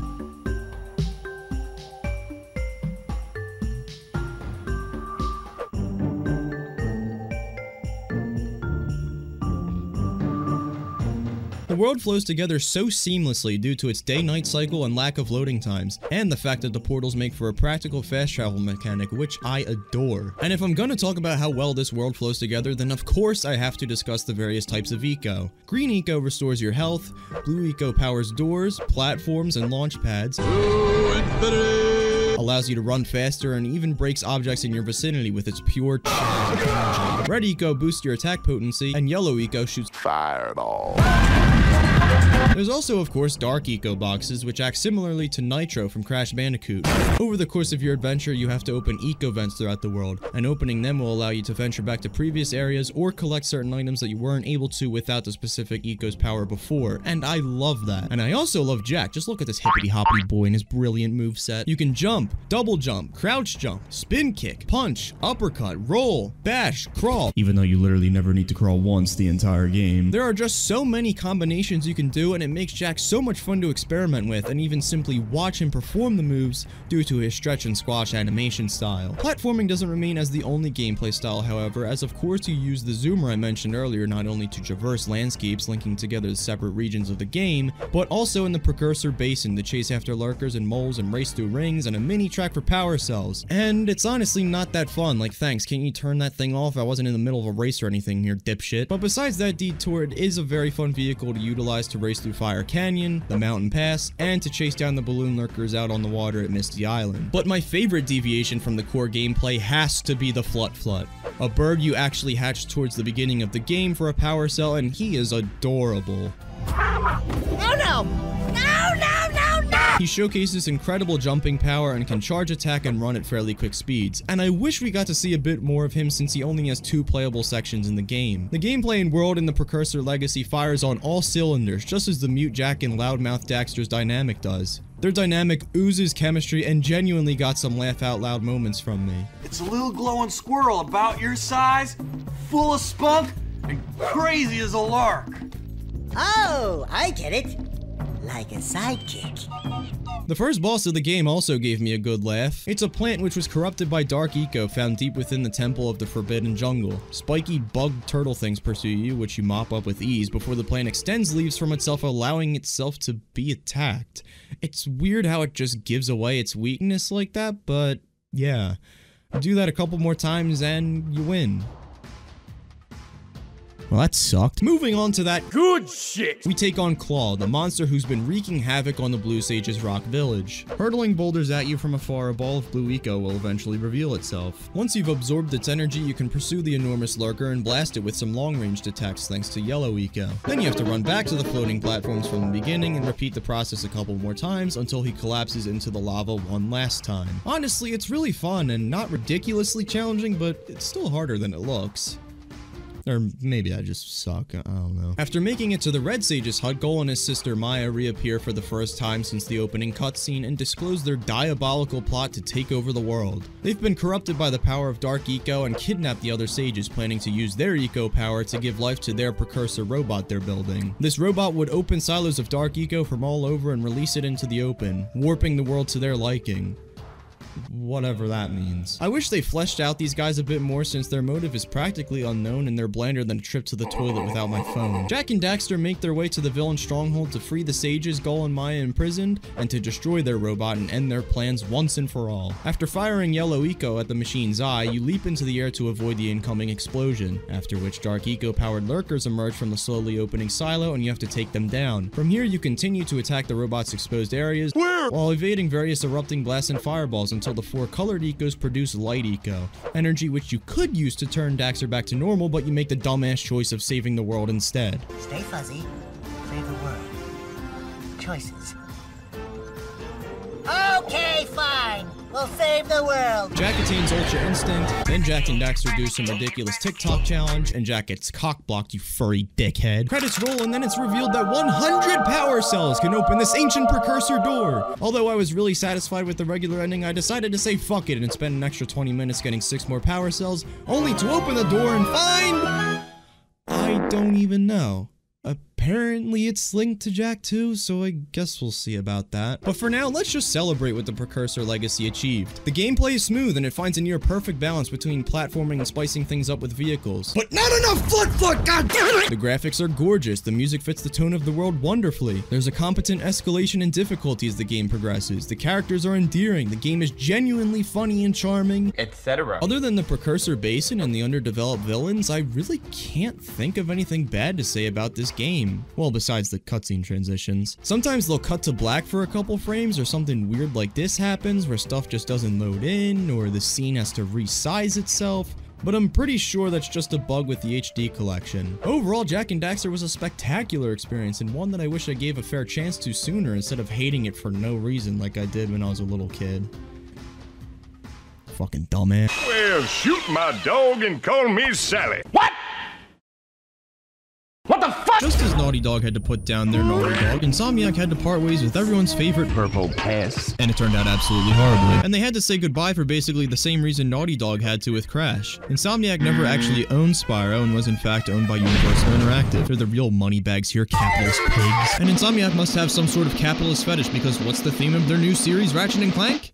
Money! But how did Ron and Cole meet? Well, it all started on this really cool home screen, okay? I cannot stress enough how much I love this calm before the storm vibe I'm getting from this. It's just really cool. Anyway, so the next morning, the game begins on Ratchet's home planet, Veldin, with him trying to build his spaceship. Where does he want to go, I hear you totally not asking? I don't know. Then we hard cut to a factory somewhere else in space to see B54296, aka Clank. And I love how they came up with his name. My serial number is B54296. Oops. I'll just call you Clank for short. But before we get to that, we actually have to find Clank who crash landed on Veldin after escaping from his factory, because an infobot showed him anal golf. Or Drek's plans to destroy the universe. Could have been that too. And our adventure truly begins with this extensive shot of the area and some funky ass beats to accompany us shit stomping some frogs.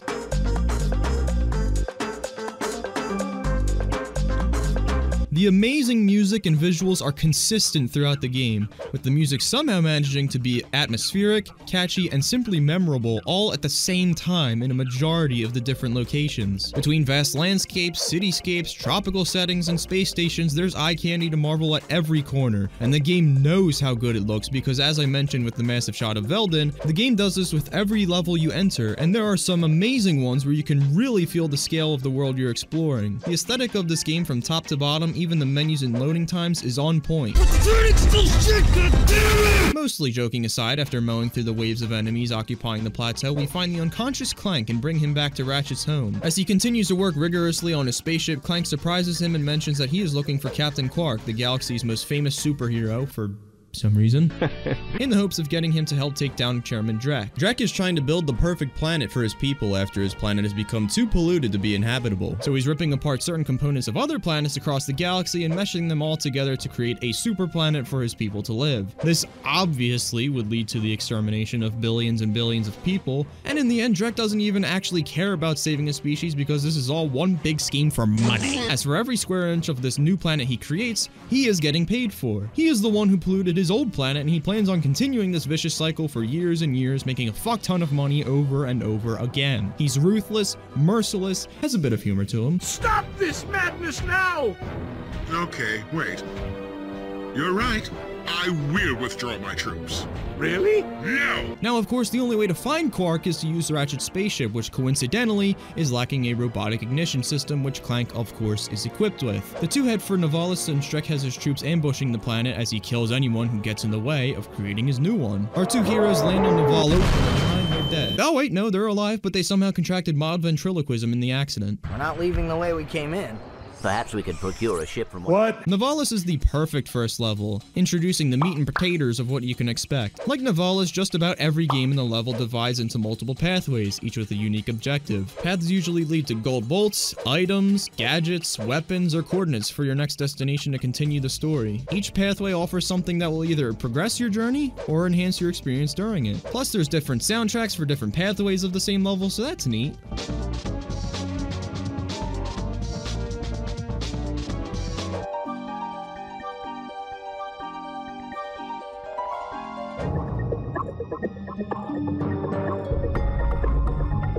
On this planet, we're also introduced to the Gadgetron vendor. Hi there, Fuzzball. The Gadgetron vendor, of course, sells weapons and ammunition in exchange for bolts, which you can acquire by smashing crates, dispatching enemies, There comes a giant fish! destroying pieces of the environment, or even by using a metal detector. Ah, fuck, it was a trap by Drek. I've fallen into consumerism. Bolts don't typically come in large quantities, so it'd be wise to buy as little weapons and ammunition as possible for as long as you can hold out for. I mean, honestly, a bunch of them aren't even that good anyway. Ratchet's wrench is strong enough as is for a good portion of enemies, even capable of one-hit KOing towards the end of the game. You can simply swing your wrench, throw it, and even jump and strike with it. Alright, fuck me. But when your wrench can't get the job done and a proper strafing function doesn't exist, so you keep getting mauled, no, this doesn't count, it still sucks and got introduced two-thirds of the way through the game, there are a few weapons that can really save your hiney. The blaster is available very early on, and is a good high rate of fire middle-range weapon, and honestly is more useful against the final boss than any other weapon I purchased. But that definitely doesn't make it your most valuable asset, because that honor belongs to the Visibomb. This thing is a necessity for taking down larger and more powerful enemies like ships and spotlights. The Pyrocitor is a good one used in the beginning third of the game, especially against devilish fucks like these, but gets severely outclassed by the Tesla Claw once you have the means to afford it, if you even do. Yes, I could afford it, so I'm better than you. But the drone device will work just fine for dealing with those herds of smaller enemies, as the drones act like a shield. Ironically enough, the small enemies are your biggest threat in this game, and no, that's not me making fun, these guys literally whooped my ass dozens of times. And I've got a dozen different things to say about the combat. On one hand, the lack of a good strafing ability does hinder the experience, leaving you awkwardly walking in circles trying to evade incoming attacks, and weapons aren't always so quick to lock on either. There's instances where you have to manually aim down, but that just leaves you wide open, so that's not very ideal either. Also, you have this quick select ring, and by holding triangle, you can quickly swap out your weapons and gadgets, but when you use the ring, the game doesn't pause. So again, you're leaving yourself wide open. Sometimes it's best to just take the long route of pausing the game, going to the menu, and selecting the tool you need. Luckily, this never gave me much of a problem, but of course, it's something still worth noting, as Ratchet can only take 4 hits before he croaks. I mean, look at the poor guy he's spent. Unless you buy Premium and Ultra Nanotech. Nanotech is the energy that restores your health, and the latter of those two is pretty expensive. Surprisingly, this caution you have to approach combat with also works in a way, as you have to be more calculating about your ammo since it can be fairly expensive for certain weapons. On top of that, as I said, you don't have much health to work with, so you can't just bull rush the competition guns blazing like later installments give you more liberty in doing. Not that the way the games after this does things is wrong, but I guess what I'm trying to say is if you play your cards right,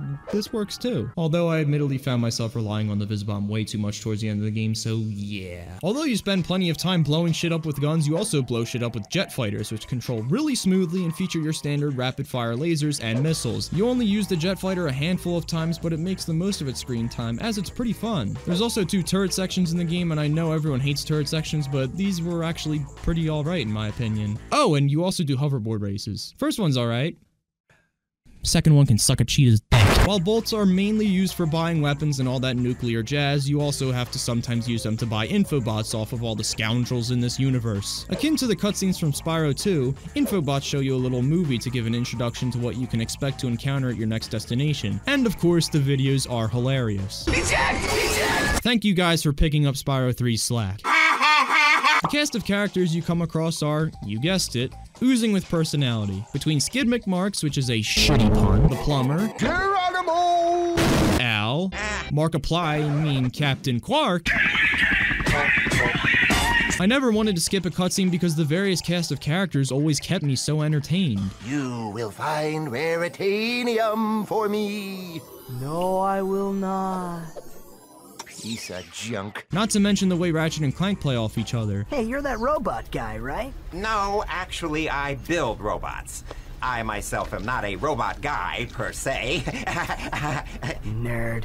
I like him. While Ratchet's not a horrible person, I wouldn't necessarily call him a good person when the game begins, or even for the majority of it for that matter. Ratchet's ill-mannered, self-absorbed, and focuses way too much on trying to have fun rather than the task at hand, while Clank is pure-hearted, always trying to do the right thing, and tries to waste no time saving residents and planets of the galaxy and putting an end to Drek's plans. But this sharp contrast between the two leads to some money moments between them as well. There's an awful plot being hatched to destroy our planets. Ratchet, he knows. Great.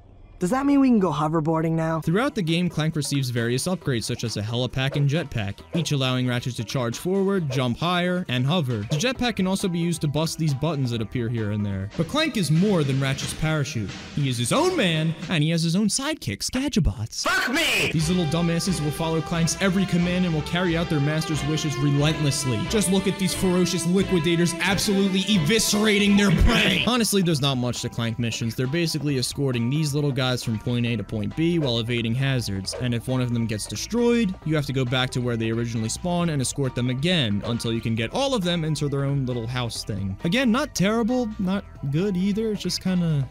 Eh? And I guess by the end of the game, the developers got tired of Clank Sections 2 and decided to create Giant Clank, who completely obliterates anyone and anything in his way. And as you'd expect from mindless destruction, it's really fun, just like the grind boots. You just ride along these rails avoiding whatever hazards come your way, but I just love grinding and sledding and riding sections and all that in games, and this absolutely meets the mark for me. There's also Magneboots which allow you to divide- There's also Magneboots which allow you to divide gra- yeah.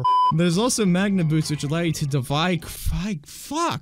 You can walk on magnetic walls, you know what I'm saying. They don't offer much from a gameplay perspective, but they're enjoyable for the spectacle alone. There's also several cool gadgets that help to break the pace of the game, shifting the focus to more puzzle-orientated gameplay. There's the Trespasser, which is an infiltration device used to hack doors through laser puzzles. They're a lot of fun and some of them are really thought-provoking, and admittedly I beat two or so of them by complete accident. But I love the challenge they bring to the table. The Hydro Displacer fills and drains pools, and sometimes you have to fill and drain several times due to things in your way before you can make it across. How fun! The swing shot It's used to swing, obviously. and it's not really used too cleverly except for this one amazing time on Oltanis as a pathway to a gold bolt, and it's horrifying how much my blood was pumping during this. Which leaves us with the Hologuise, and it's fine.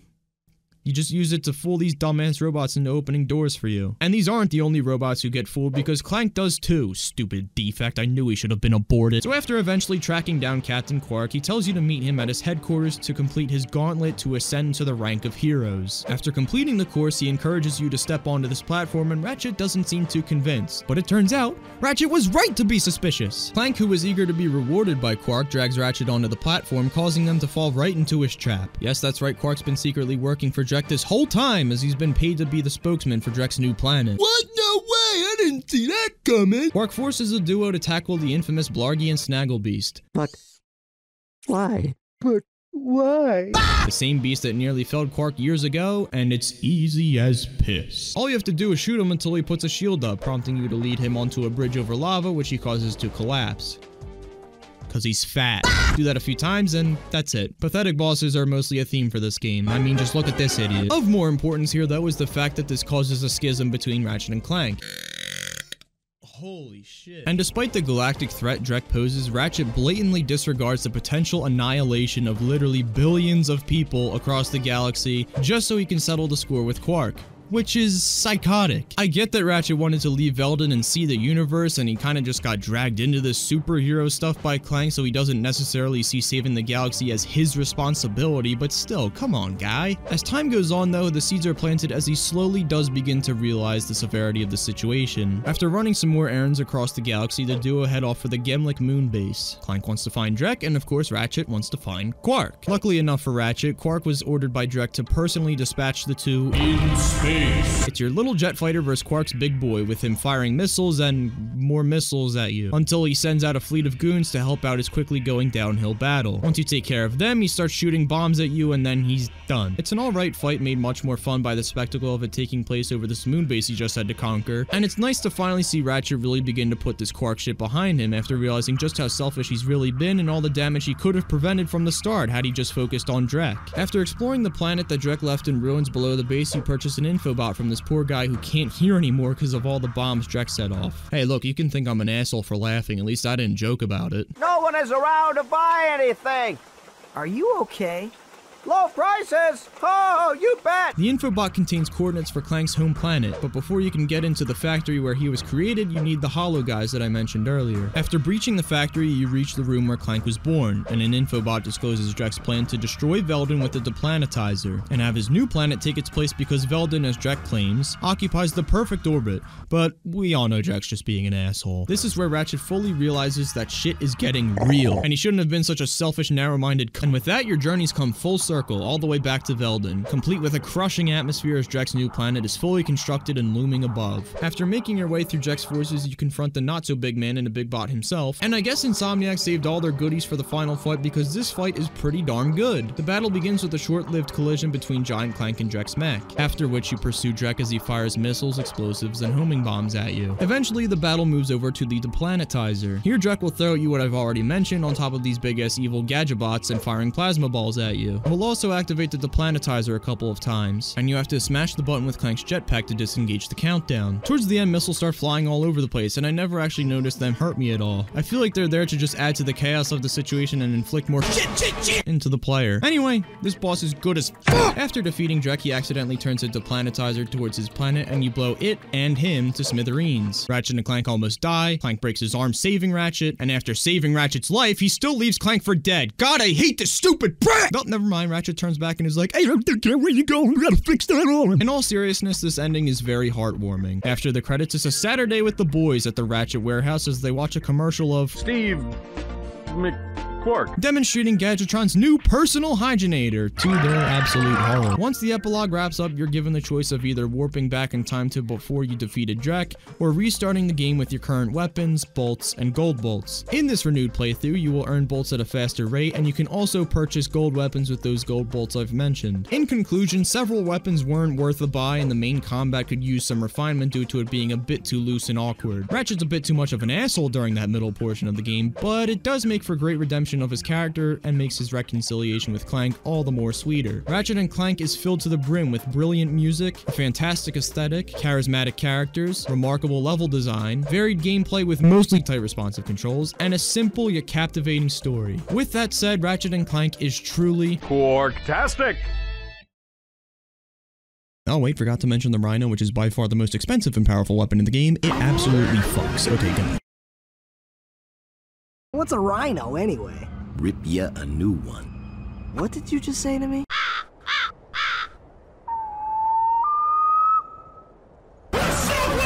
So with the dynamic duos of Jak and Daxter and Ratchet and Clank on the scene, it looked as if Naughty Dog and Insomniac were once again ready to go to battle for mascot supremacy. But they both just got sucker punched because here comes a fucking circus raccoon to literally steal the spotlight. And his name is...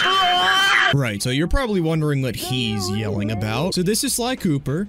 Wait, no, no, no, not him, no. This is Bentley, and this is Murray. And these guys met at an orphanage after Sly's family was murdered by a gang of crooks, as an English just got back very fast, known as... The Fiendish Five.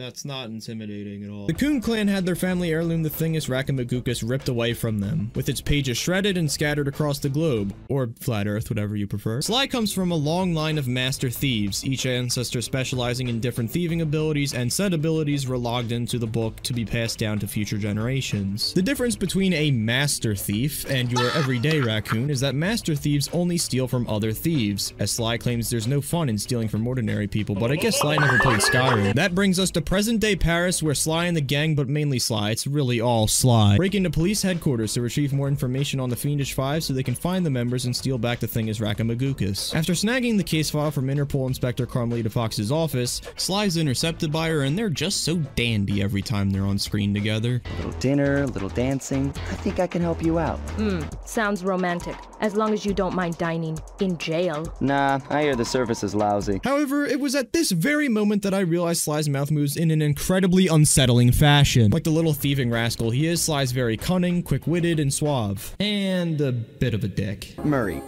part-time driver and full-time burden. While Carmelita's obviously on the other side of the law, obsessed with putting the Cooper gang behind bars. And while they won't admit it yet, they've got a little something going on for each other. Eh? Eh? So you bust a move through the fire escape all the way down to the team van and make an epic getaway. From what we've seen between the gameplay and cutscenes, I'm sure you've already noticed the unique comic book aesthetic this game goes for. It really gives the cutscenes this Saturday morning cartoon vibe and helps Sly Cooper form its own identity against the competition. Going one step further with that is the stealth-based acrobatic gameplay. Sly has your traditional platforming controls like jumping and attacking, but he can do plenty of cool tricks like climb pipes and ropes and walk along edges and, uh, well, that's all you can really do at the beginning of the game. But there's plenty of abilities you unlock from recovering the lost pages of the Thingus Rakamagukas, such as electric rolling, Manipulation. and exploding heads. Okay, look, could Sly's dad not read or something? How could he die when he should have been an electric, exploding, time-warping god coon? But how can you turn into the Chad coon? By retrieving clue bottles spread throughout each level like the good little furball you are. Have a biscuit! And once you collect all the clue bottles in an area, Bentley can decipher the safe's code, allowing you to snag a hip new ability or upgrade your Binocucom, which is a device that lets you scan the area. These upgrades range from telling you the location of breakable objects in the area, clue bottles, and even giving you descriptions of enemies in the level. You also use the Binocucom to communicate with Bentley and Murray, and who else thinks that Bentley looks like he's wearing a dress? But where you really make the most of your thieving capabilities are by lighting torches, racing monkeys, and fighting crabs with a submarine. Ah, yes, very Master Thievy.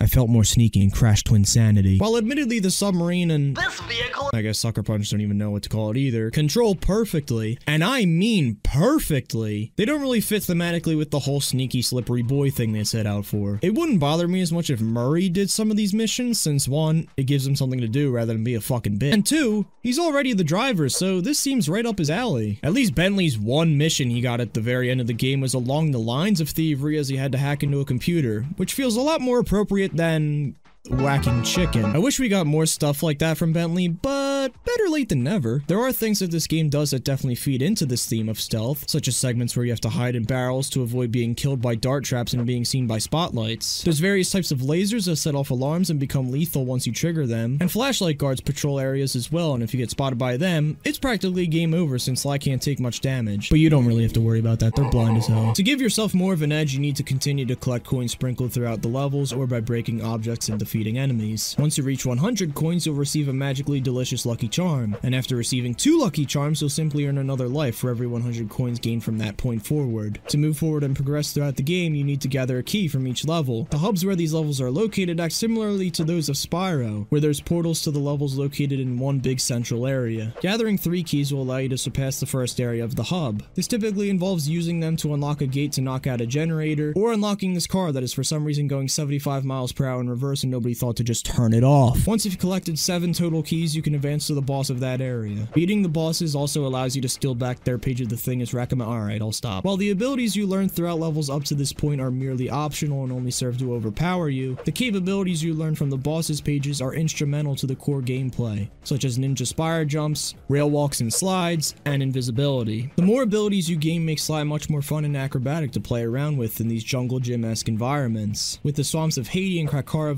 Volcano host some very slick and smooth maneuvering, along with some nice immersive music. It's not the most memorable soundtrack in the world, but like Jak and Daxter, music doesn't necessarily have to be memorable for it to be good. Diving into lower, more atmospheric tracks and hub areas,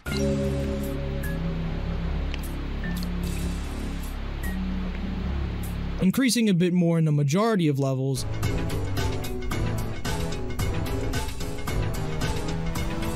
and ramping up once you enter combat.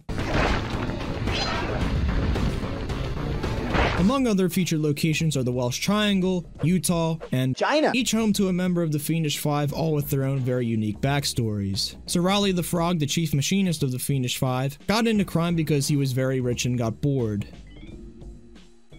Now that is storytelling, gentlemen. You've got me hard. Also, notice how the episode cards say Sly Cooper in? Even the developers know Bentley and Murray are useless. Just like most of the bosses are. Raleigh hops around, you whack him. He hops around some more, you whack him. Tornado! You whack him. Mugshot of Utah was a bullied kid, so he decided to get jacked and beat up all those who picked on him. He's my favorite member of the Fiendish Five since he has the best overall episode, one of the better boss fights, and he's pretty funny. You're the monkey wrench in my operation? Some scrawny rat with a stick! Hey, wait a second. I seen that stick before. Maybe when my father knocked your block off with it. Sly. Your dad is dead because of him! So Mugshot's fight is all about spinning these mirrors and reflecting them off these crystals to burn him. My beautiful gun is destroyed! Good thing I got a spare upstairs. I died so many times in the beginning because I didn't know you could just jump over his bullets, but once I figured that out, he was boned. Get it? Because He's a dog. Ms. Ruby is the chief mystic of the Fiendish Five and was feared by others as a young pup for having the ability to summon the undead. I can't wait to see how that plays into her epic boss battle later on.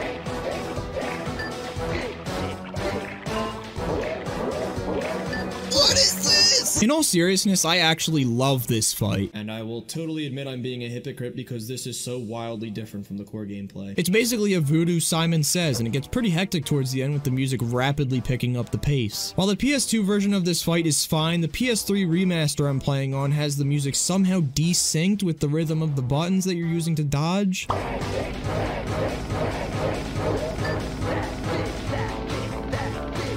It doesn't bother me 95% of the time, but I know this issue has thrown off a lot of people. Nonetheless, this didn't ruin the fun for me. I still had a blast, just like those poor villagers that got blasted into oblivion. Next up is the Panda King, who as a youthful lad was fascinated by fireworks. Trying to impress the nobleman, he instead put on an unbearable display.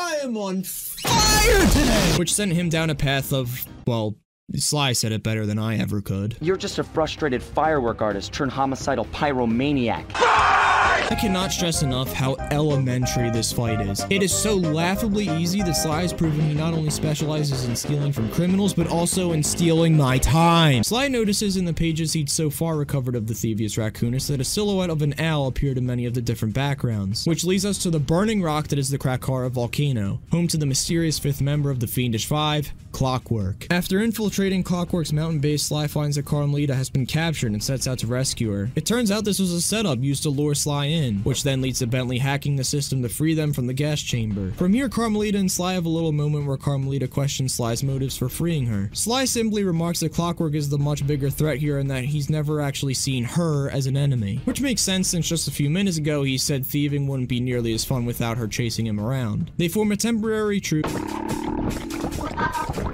Okay, now we escort Sly up to get his cane back, and then Sly makes a run for Carmelita's jetpack at the top of Clockwork's tower in what is easily my favorite part of the game. And it sucks that this literally lasts like one minute, kinda like me. You swing from hooks, run on rails avoiding electric gates, smash and jump on gears, climb wires. It's so much fun putting all your skills to the test in one fast-paced, tension-filled gauntlet, which leads us to the final boss. And it utilizes absolutely none of your skills learned to this point. You see Clockwork for the first time and he is a completely different beast from the other opponents up till now. He is an immortal mechanical owl who has been stalking the Cooper line for hundreds, even thousands of years, keeping himself alive simply out of pure hatred for his family. This is absolutely ridiculous. While Clockwork fires at you, Carmelita assists you by shooting the owl with her shock pistol, granting you an opening to attack. After going down once he rises from the lava, and Sly questions him on why he didn't finish the job murdering Sly along with the rest of his family. Clockwork wanted to prove to the world that Sly was nothing without the Thievius Raccoonus, and that his family name would simply cease to exist without the book, failing to realize that it takes great thieves like Sly to create the book,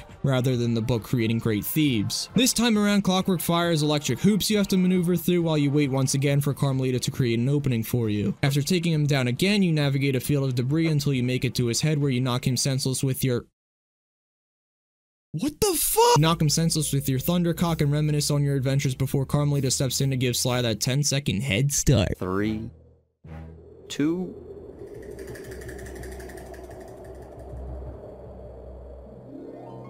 one.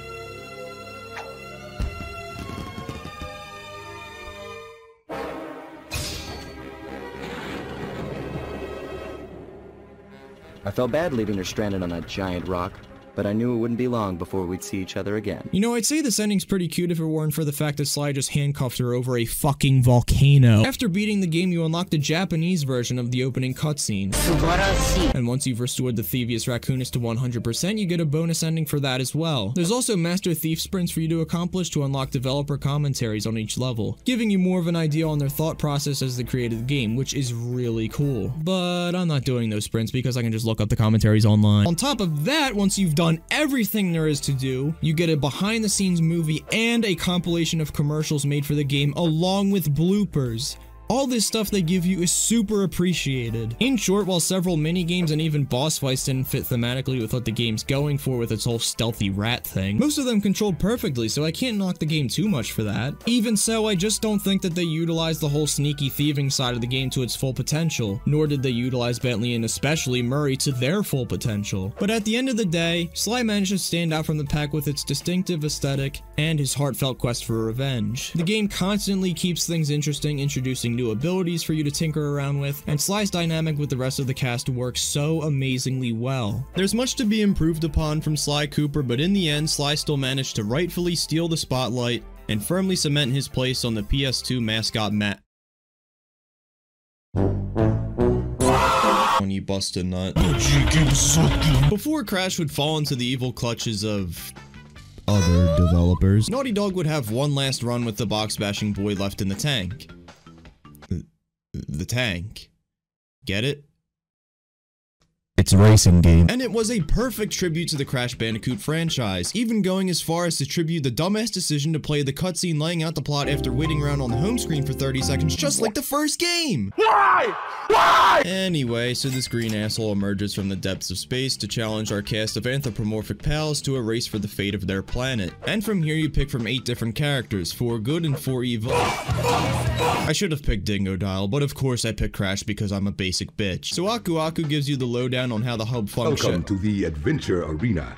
You uh, can travel around this area and practice. Aku Aku gives you the lowdown on how the hub functions, what the map means, all that jazz. Your main objective across all the tracks is of course to race for first place. Obviously. And winning a certain amount of trophies in an area unlocks a race against that area's boss, with each boss of course coming from preceding Crash titles. There's also relics, tokens, and crystals you race for, but that's not important until later on. I really like how there's no hand-holding tutorial, though my dumbass probably could have used a bit of hand-holding since I didn't even figure out how to use the power boost until halfway through the game. Yes, I know Aku Aku tells you how to, but I was on Discord and had the game muted, so Shut your fucking mouth! They just send you off and give you this big open area to practice in before heading into the races. I've never really played many kart racers in my day, but I mean, these controls are as good as they can get in my book. They're for sure an insane improvement over this garbage. It's so incredibly satisfying to smoothly transition from jumping and slipping and sliding and boosting around corners. There's clearly a very high ceiling for how much you can hone your skills. However, earlier on, even when I drove like a brain-dead simpleton, while of course there's a difficulty curve, it never felt like I had to master these crazy moves in order to keep up. You can casually drive around or really crank up the jets and the game won't punish you here nor there or in between.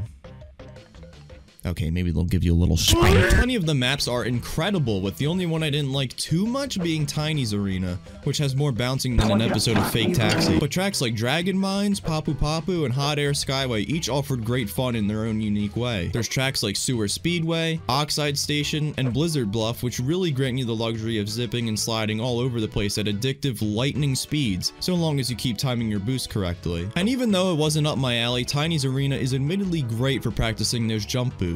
Maps like Cortex Castle and Polar Pass also include really cool homages to the series' previous entries, like using spiders to drop down and block the racers like the Dark Corridor levels from Crash 1, and the fact that the sky is red and rainy like Slippery Climb. Or how about how the bear from Unbearable in Crash 2 is frozen in this block of ice? Serves them right. It's a shame they don't show the same respect to the bosses who aren't quite up to par. You call that racing?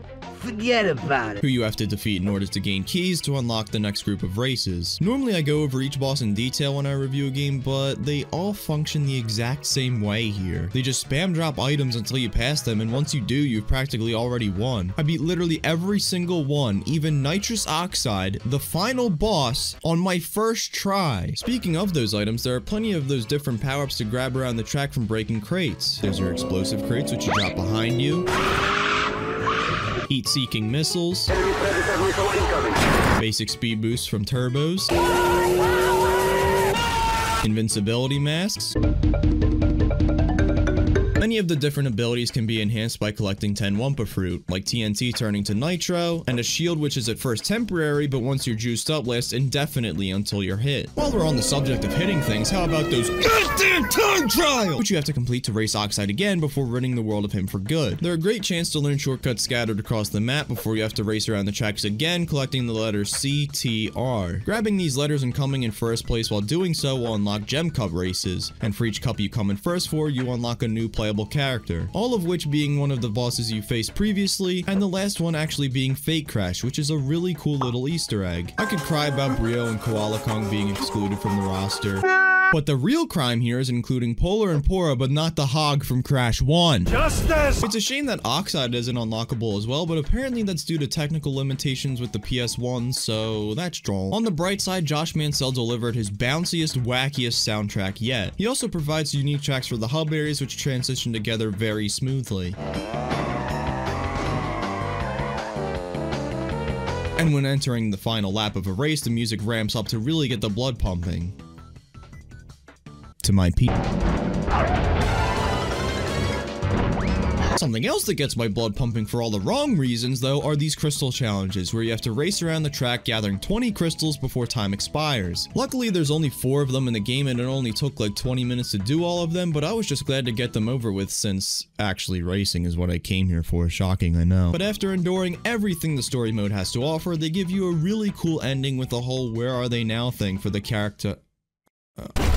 Not only that, but you get a scrapbook filled with all this different concept art for the Crash games, pictures of the Naughty Dog staff, pictures of Crash being revealed at E3 1996, and more. It's really, really cool. But you're not done there, as you can also do this other time trial mode, and if you race fast enough, you get to take on the ghost of N. Tropy. If you can beat N. Tropy on every track, break out the board a limited time at Outback Steakhouse. Then you unlock him as a playable character as well. And after beating him, you can race Oxide, and repeating that process against him will unlock the scrapbook you just saw on the main menu. First of all, second of all, no fucking thanks. There's other multiplayer modes to delve into, or at least there would have been if I had friends.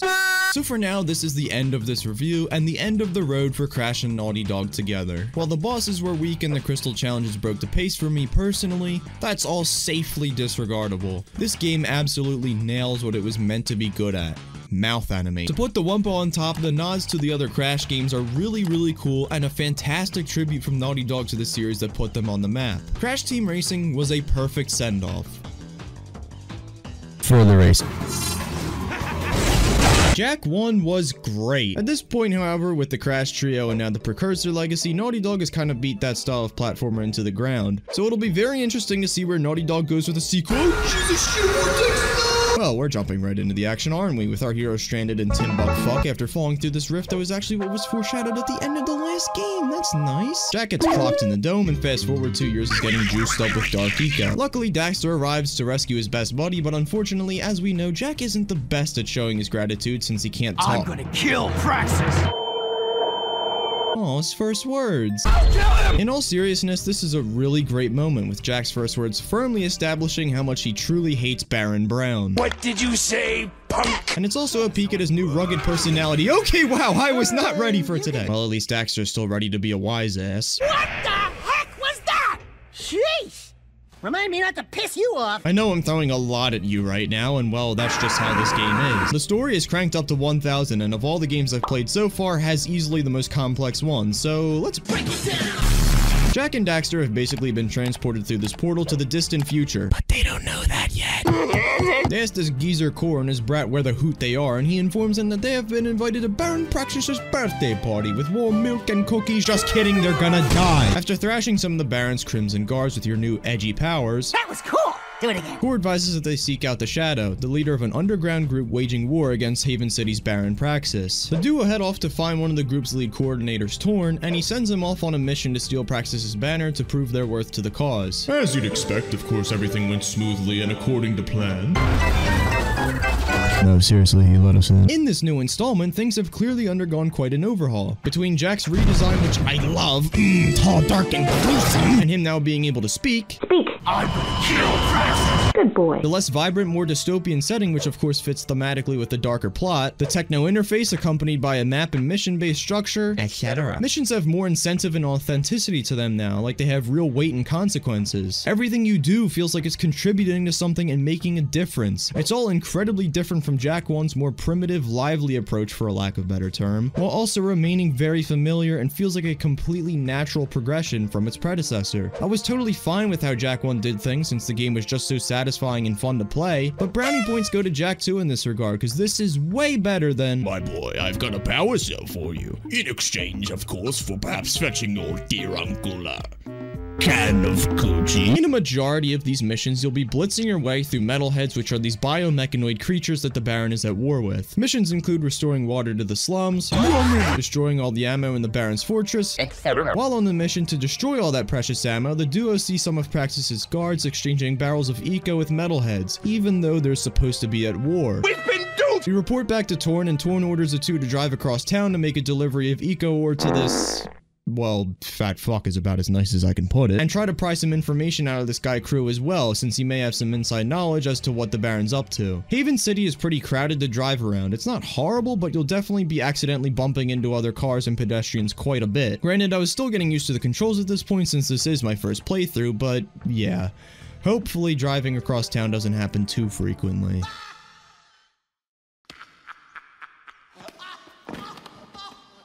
Yeah, guess what? That's exactly what happens. You constantly have to drive Back and forward, back and forward, and I'm sick of it! There's many, many missions where you have to drive across the entire town, which takes like two to three minutes each time. And when you take into account how many missions there are, yeah, that's a lot of time just tediously flying around. At the very least, they do include side missions for you to tackle, but uh, yeah, I personally don't really care about these side missions. For completing side missions, you get precursor orbs, which are now much rarer than they were in Jak 1. And they're used to unlock cheats, so that's pretty neat, but unfortunately, I just don't have the time to devote to that jazz. But I do have time to blow shit up! Continuing to stray away from the traditional platformer style of spins and kicks, the main method of combat has now evolved into gunplay, thanks to Krew gifting us the morph gun, and I love it. What's really awesome about the morph gun is that it has four different modes, hence the name, all of which are powered by different forms of eco. The red scatter mod acts as a shotgun based on the more potent attack ability you were granted by red eco in Jak 1. The yellow blaster mod, which is inspired by the fireballs from Jak 1, acts like a semi-automatic rifle and can do this. The blue Vulcan Fury mod, god that's a cool name, is based on your supercharged abilities previously granted by Blue Eco, and acts like a fully automatic rifle. Finally, there's the Peacemaker, which is powered by Dark Eco, and yeah, I think it speaks for itself. With the complete tone shift that this series has taken with this entry, it was necessary that Jak needed to take things up a notch from karate, and this is perfect. You only start off with the scattergun, but as the game progresses, the other modifications will be implemented, and you'll even receive upgrades such as a faster rate of fire and more ammo. You'll receive plenty of these upgrades from Krew working for him as a wastelander, which is basically someone who scavenges supplies for him beyond the city's walls. Krew is honestly one of the most captivating characters I've ever seen in like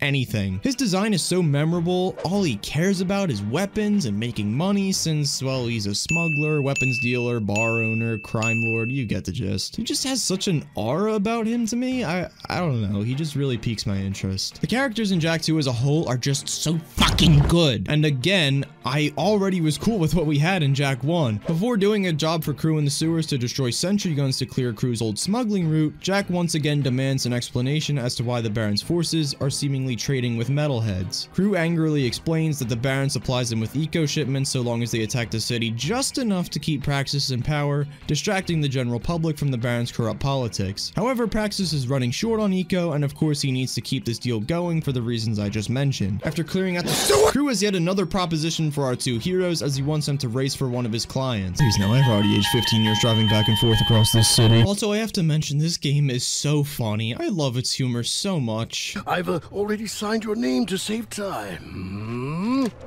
We, the Racers, hereby agree to give Krew all proceeds from race earnings, endorsement fees, broadcast royalties, syndication residuals, vehicle sponsorships, small appearance fees, collectible card assets, fast food tie-ins, use of likeness rights, talk show deals, clothing lines, all print rights. Anyway, that client just so happens to be former love interest Keira, who doesn't recognize Jak's voice because, well, he's never talked. She tells you to fuck off and do some flips, and then she's like, fine, I'll help you, you stupid elf, and points you in the direction of where to turn on an elevator to get to the Baron's palace. The duo rescue this scientist Vin from under Metalhead siege, and Daxter just loves triggering his PTSD from it. Ah! A metalhead behind you! After doing some other crap, they ask him to turn on that elevator's power. And we're all set now, so let's see. The elevator is up and to the left. Okay, got it. The elevator leads straight up to the very top of the city, accompanied by a bit of classic platforming. You reach the roof of the palace and eavesdrop on the Baron and the Metalhead leader, continuing their fallout due to no eco supply on the Baron's end, and that bonehead Daxter almost blows their cover, but luckily they're not spotted, and never mind, our cover's blown. Unlike the bosses from Jak 1, which were pretty decent, these bosses will completely blow you to bits. The Baron uses what I like to think is this Cthulhu-inspired mech, but the wiki weakly refers to it as a squid mech. How boring is that? He starts off with some high rate of fire lasers, which sent me into a bit of a panic at first, but wasn't all bad once I got the hang of it. Next round, he shoots blue eco rockets, which are actually pretty easy to evade. And in the third round of the fight, he fires off red eco tornadoes and absolutely bulldozes you. Once he uses up all his ammo, he has to recharge, which is another opening to attack. And once you get a third of his health down, he'll spiral out of control. And if you let your guard down, it'll definitely cost you. He also has about a 5 second invincibility buff after each bit of damage he receives, but no, we don't get that. This game has to be hard. Pull that all together and you've got a really great,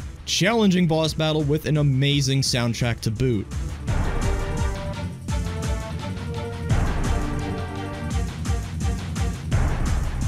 Speaking of the music, one thing that's cool as well is when you pull out the morph gun, the music alters slightly.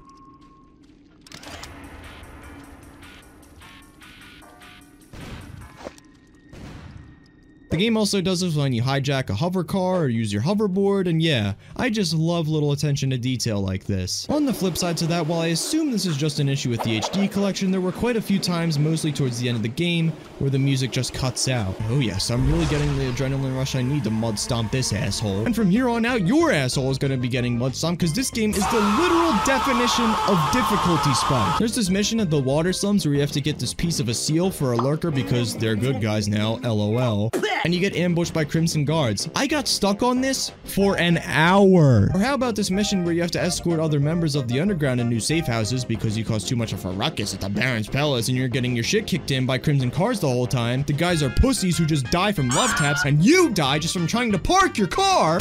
Even this mission, which is way harder than it probably should have been. I mean, just look at my nose where you have to destroy this equipment using your jetboard at the Baron's excavation site while guards are equipped with China legs and your jetboard won't attach to the fucking wheel. Not to mention the checkpoints can be unforgiving, I just got set back like seven minutes after escorting these dumb snotty losers through the stinky sewer. They're not even helpful. Like, you're useless. Let's talk about someone much less useless. That person being Ashelin, the daughter of the Baron.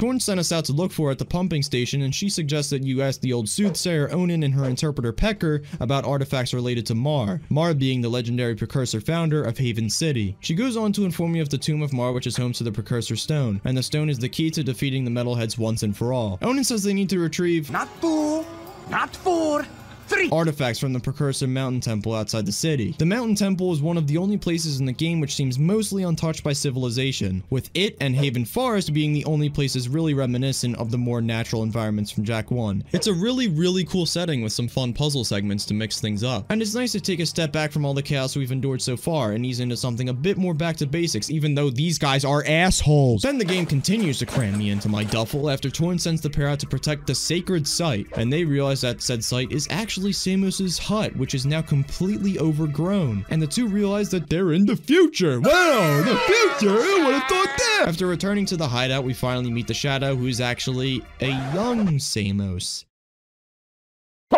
And he informs us that the kid we've seen throughout the game with Kor is actually an heir to the throne of Mar, meaning he is the only one who can open the tomb of Mar to get the precursor stone. We take the young laddie to the tomb after recovering all the other necessary supplies to access the tomb's entrance, but an oracle informs us that he's too much of a wuss to take on the obstacles that lie inside, so Jak goes in instead. After traversing all of the tomb's trials like more puzzles and even a throwback to the chasing days of Crash Bandicoot, Baron Praxis reemerges in an attempt to retrieve the stone and so we have to whoop his hiney again. He sends these bots after you and then shoots these bombs that you have to whack back towards him. In the final third of the fight, he actually gets a hold of the stone and harnesses its power to destroy the platform around you. And he also sometimes gets all close and personal, firing quickly at you and destroying the pillars which act as shields for you. Not as good as the first fight, but still pretty enjoyable. Praxis escapes with the stone, and Torn confesses that he had to sell out the underground to protect Ashelin, as Praxis threatened to kill her for treason since she had been working as an underground spy. After rescuing our rebellious buddies from the fortress where Jak was formerly imprisoned, we're reunited with our Samos, and he instructs us to find the life seed from his hut, which will grant the younger Samos the same sagely power as his older counterpart. Jak and Daxter deliver the seed to Samos Jr., and he uses it to talk with the plants or some shit about what will happen in the future. And the plants reveal to him that the Baron plans to break the stone, releasing his power in an attempt to rid the world of metalheads for good. Which, you know, works all fine and dandy because it would also destroy the entire world. Meanwhile, Keira has been secretly working on a replica of the same Rift Rider that sent them to this time period to get them back to their native timeline, though she still needs the time map and the heart of Mar, and the latter of which is in Krew's possession. That fuck probably ate it already. But no time for that now, as it's time for the championship race against this prick who's been simping our girl and apparently us too. But we pulverize his arse with ease, winning ourselves the tour of Praxis's palace. Of course, Praxis recognizes us, but definitely not fast enough because he had no clue who we were at first. I mean, crikey, you've tried killing Jak twice, and before that, Jak was your Dark Warrior experiment for two years, dumbass. He sends his goons on a headhunt for us, but not before Errol fucking dies. The guards kill us and then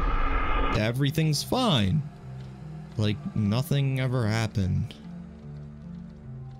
Also, I know I haven't said anything really about the races up to this point, even though there's been like three of them before this. They're fine, you boost, you drive, it controls fine, so yeah. I'd much rather talk about how fast this woman.png in the crowd is clapping, or how fast this dumb broad was convinced. Jak tells her, You did, we're gonna die if your dickhead dad cracks open that stone! And she's like, Nah, man, quit busting my stones, we're all good. Then she calls Vin for proof, and he's like, and then she's like, Oh, Never mind, go kill that two-ton tub of fun who's planning to crack open the stone. Tensions have been slowly boiling between the boys and the behemoth boy pretty much ever since we met Krew, and it was made especially obvious that they were going to come to blows eventually when Jak refused to throw in the championship race for him. Krew tries to bribe Jak with one last gun upgrade to simply walk away and forget that we saw him building a bomb to break open the precursor stone, but Jak's not buying it. So now it's time to throw down against these electrified Krew clones. Let me introduce you to my crew. Shut the fuck up. I'd advise staying as far back as possible here and fending them off with your scattergun until you clear the waves of them. After that, Krew will come in for the kill, but you should be able to fight him off very easily with either the Blaster or Vulcan Fury. This took me a couple tries, but that's really only because I hadn't formulated the scatter strategy up to that point, and once I did that made this fight fairly easy. But it was still a ton of fun. Fat fuck! Krew activates the bomb he built to break the stone in a last-ditch effort to do us in, but Ashelin is there for the save, and we made it off with the Heart of Mar as well. Then we have to do whack-a-mole because why not, and beating the minigame grants us the time map from inside the machine that Krew was hiding away. But now we have to rescue fellow Wastelander Sig after Krew sent him on a mission to the Underport to open a passage for the Metalheads to infiltrate the city, which of course Sig didn't know that's what he was actually doing. After doing a couple more puzzle segments and being chased by this giant metalhead, we finally lose him and...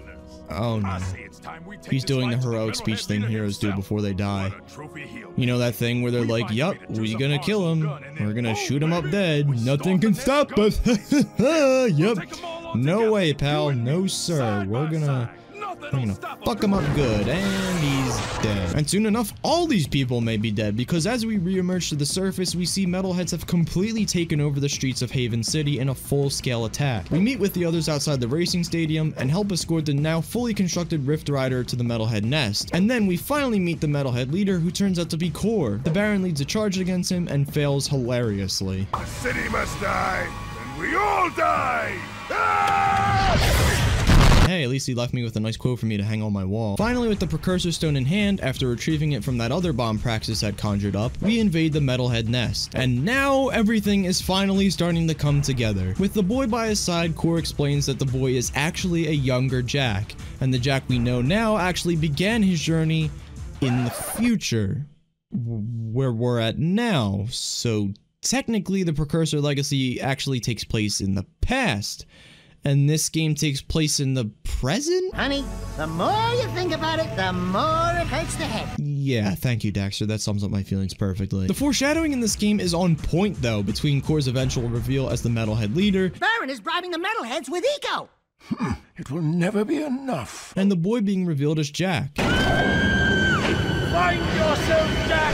Oh, sweet. Interesting.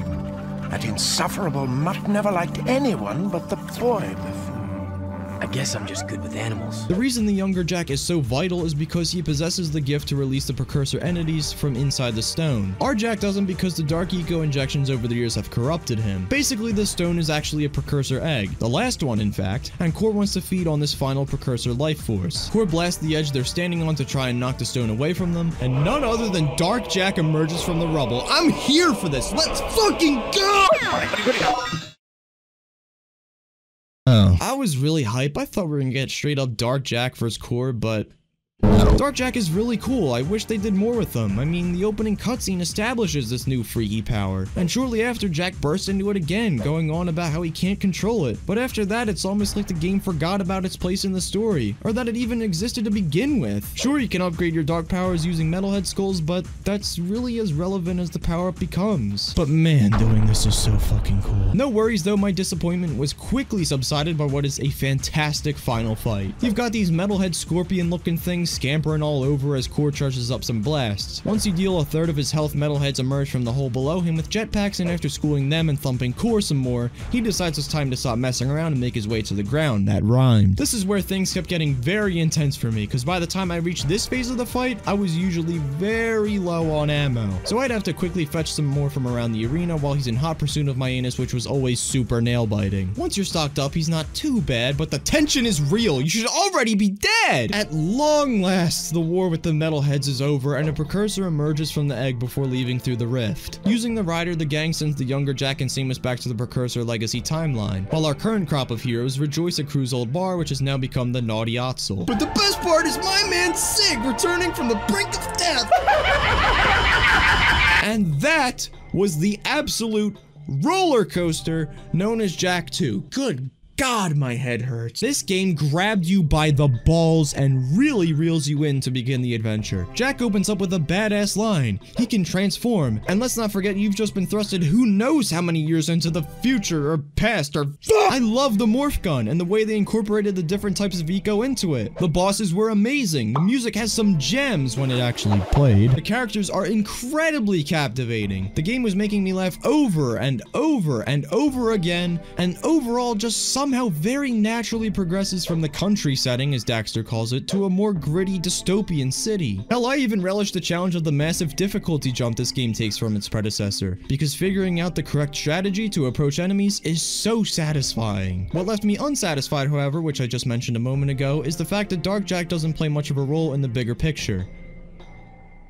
There's also a mech and it sucks dick. As you play through this game, you'll probably have a bit of a love-hate relationship with it due to the tedious driving around the map, how difficult it can get at times, and the gripes I just mentioned. But the more I find myself dwelling on the adventure now that it's all said and done, the more I just absolutely love it. Jak 2 was an outstanding over, hey guys, wait your turn, your video's up next! Why is Billy sad? Is he cold, hungry, or maybe just Oh no! No, no, no, take it away! lonely?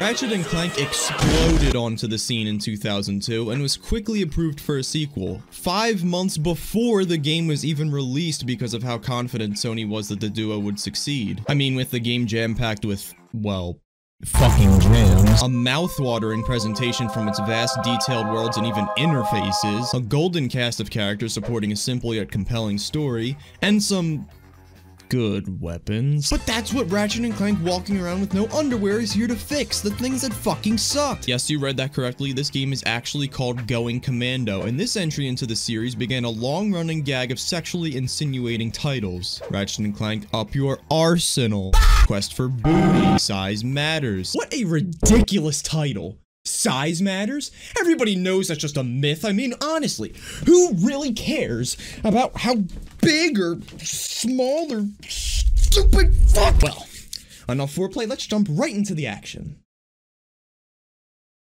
The game begins Ratchet and Clank as they're being interviewed for a show known as Behind the Hero. But before we get to that, you guys know how much I love the opening menu in the last game, and this one's great too, with the two playing their game from last year. Never change, Ratchet, you narcissistic asshole. The duo explain more or less that they've been doing jack shit since Drek was defeated, and Ratchet wishes that somebody could use a hero right now. Um, I'm sorry. What? In that moment, Abercrombie Fizzwidget kidnaps the two, transporting them to the Bogon Galaxy, and Ratchet fittingly looks both ecstatic and terrified. Welcome! Fizzwidget explains that his company Megacorp, which is like the Gadgetron of this game, has had their top secret biological experiment stolen from their testing bathroom. By this dupliferous criminal mastermind. and he needs the duo to get it back. Interestingly enough, Clank is the one reluctant to embark on this new venture, while Ratchet again shows he is the one eager to jump into action and be the hero, which is a complete role reversal of the two in the last game. This is because the developers found Ratchet's snarky, selfish attitude from the last game too antagonistic, so they wanted to redeem the character by making him more friendly, selfless, and less irritable. Way to go, Clank! Nothing to it. You did great. Now, let's go get that experiment back. As you can hear, this also led to James Arnold Taylor being brought in as the new voice actor for the character, who fits this more mature Ratchet much better than Mikey Kelley would have. Sorry, Mikey Kelley, I know you're definitely watching this and I don't want to hurt your feelings. Fizzwidget takes no hard feelings towards Clank's hesitance to join the mission as he precipitated he would feel this way. He offers Clank the job as head accountant of Megacorp, offers him a penthouse in Megapolis, and a robotic masseuse, which I'm pretty sure just gave Clank a boner. I didn't need to see that. After Ratchet's various preparations for the perilous mission including martial arts, heavy weaponry, and ballroom dance, Ratchet is sent off to a flying base where the thief is currently located, where he will steal the experiment back. Right off the bat, you can feel how much tighter the game controls. It only took five years, but Insomniac finally figured out how to fucking turn properly. Not only that, but Insomniac also added a proper strafing ability, instantly making the combat 10 times smoother and 10 times the fun. The weapons also feel 10 times more powerful. No more bomb gloves thrown together with scrap metal and pop rocks, now we've got fucking mini nukes. As great as the mini nuke is, who needs that when you've got the bouncer? A bomb which explodes and unleashes more mini bombs. Or how about the mega rocket tube, which can even charge up to four rockets at a time? Or my personal favorite, the plasma storm, which fires a storm of plasma that zaps the life out of anything that stands in its way. The drone device in Ratchet 1 was a game changer, but this game has something even better than that, the Killanoids. Pair that with the shield charger, which makes you invincible until it gets deactivated, and you'll be an absolute force of nature. On top of the weapons simply feeling more powerful and impressive to wield, they become more powerful over time as well. Another new combat feature is this experience bar into most of the Megacorp weapons. I specifically say Megacorp because you can actually obtain some of the Gadgetron weapons from Ratchet 1, but unfortunately they're not upgradable until New Game Plus. Fortunately to make up for that, you can get any of the ones you bought in Ratchet 1 for free as long as the save file is intact. Um, oh, oh, there we go. Anyways, once you fill that experience bar all the way up, your weapon will undergo an upgrade, amplifying its power and sometimes its ammo capacity. Although the Heavy Lancer is just complete dog shit, Jesus fucking Christ. To make that shit stank a bit less, there are also weapon mods which can be purchased with platinum bolts. Yes, regular bolts are now gold, and the secret bolts you find scattered around the levels are platinum.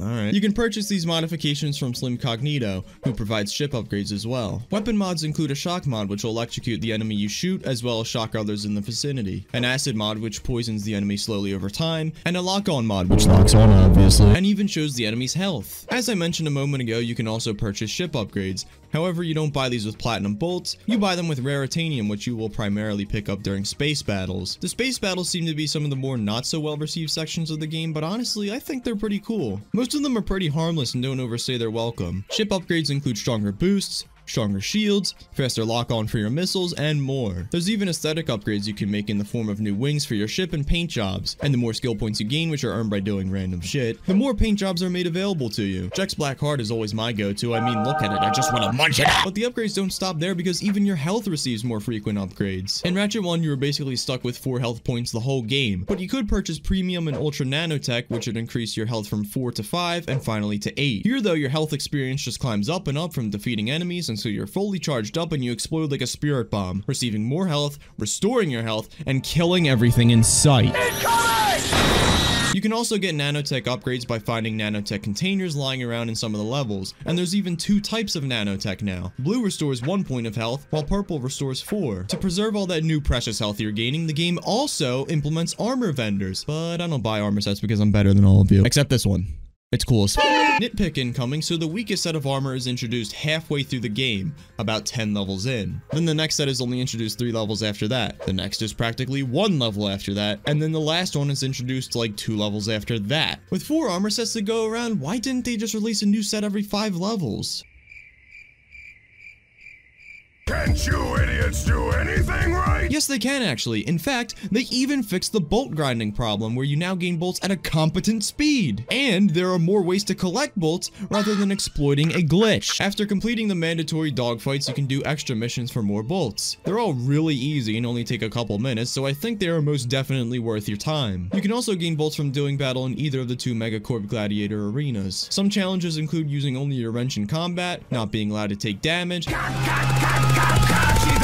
and even the impossible challenge for 200,000 bolts, which lasts who knows how long. 60 rounds. Of course, the arenas are a great way to build up that experience bar for your weapons as well, as are the deserts where you can also gather crystals and moonstones for more bolts and even find more raritanium to upgrade your ship. Fun fact, this ice level by the name of Grelbin you're seeing, which is like notoriously the worst level in the game, though I personally love it because I'm a masochist for this shit, was made in three days. Three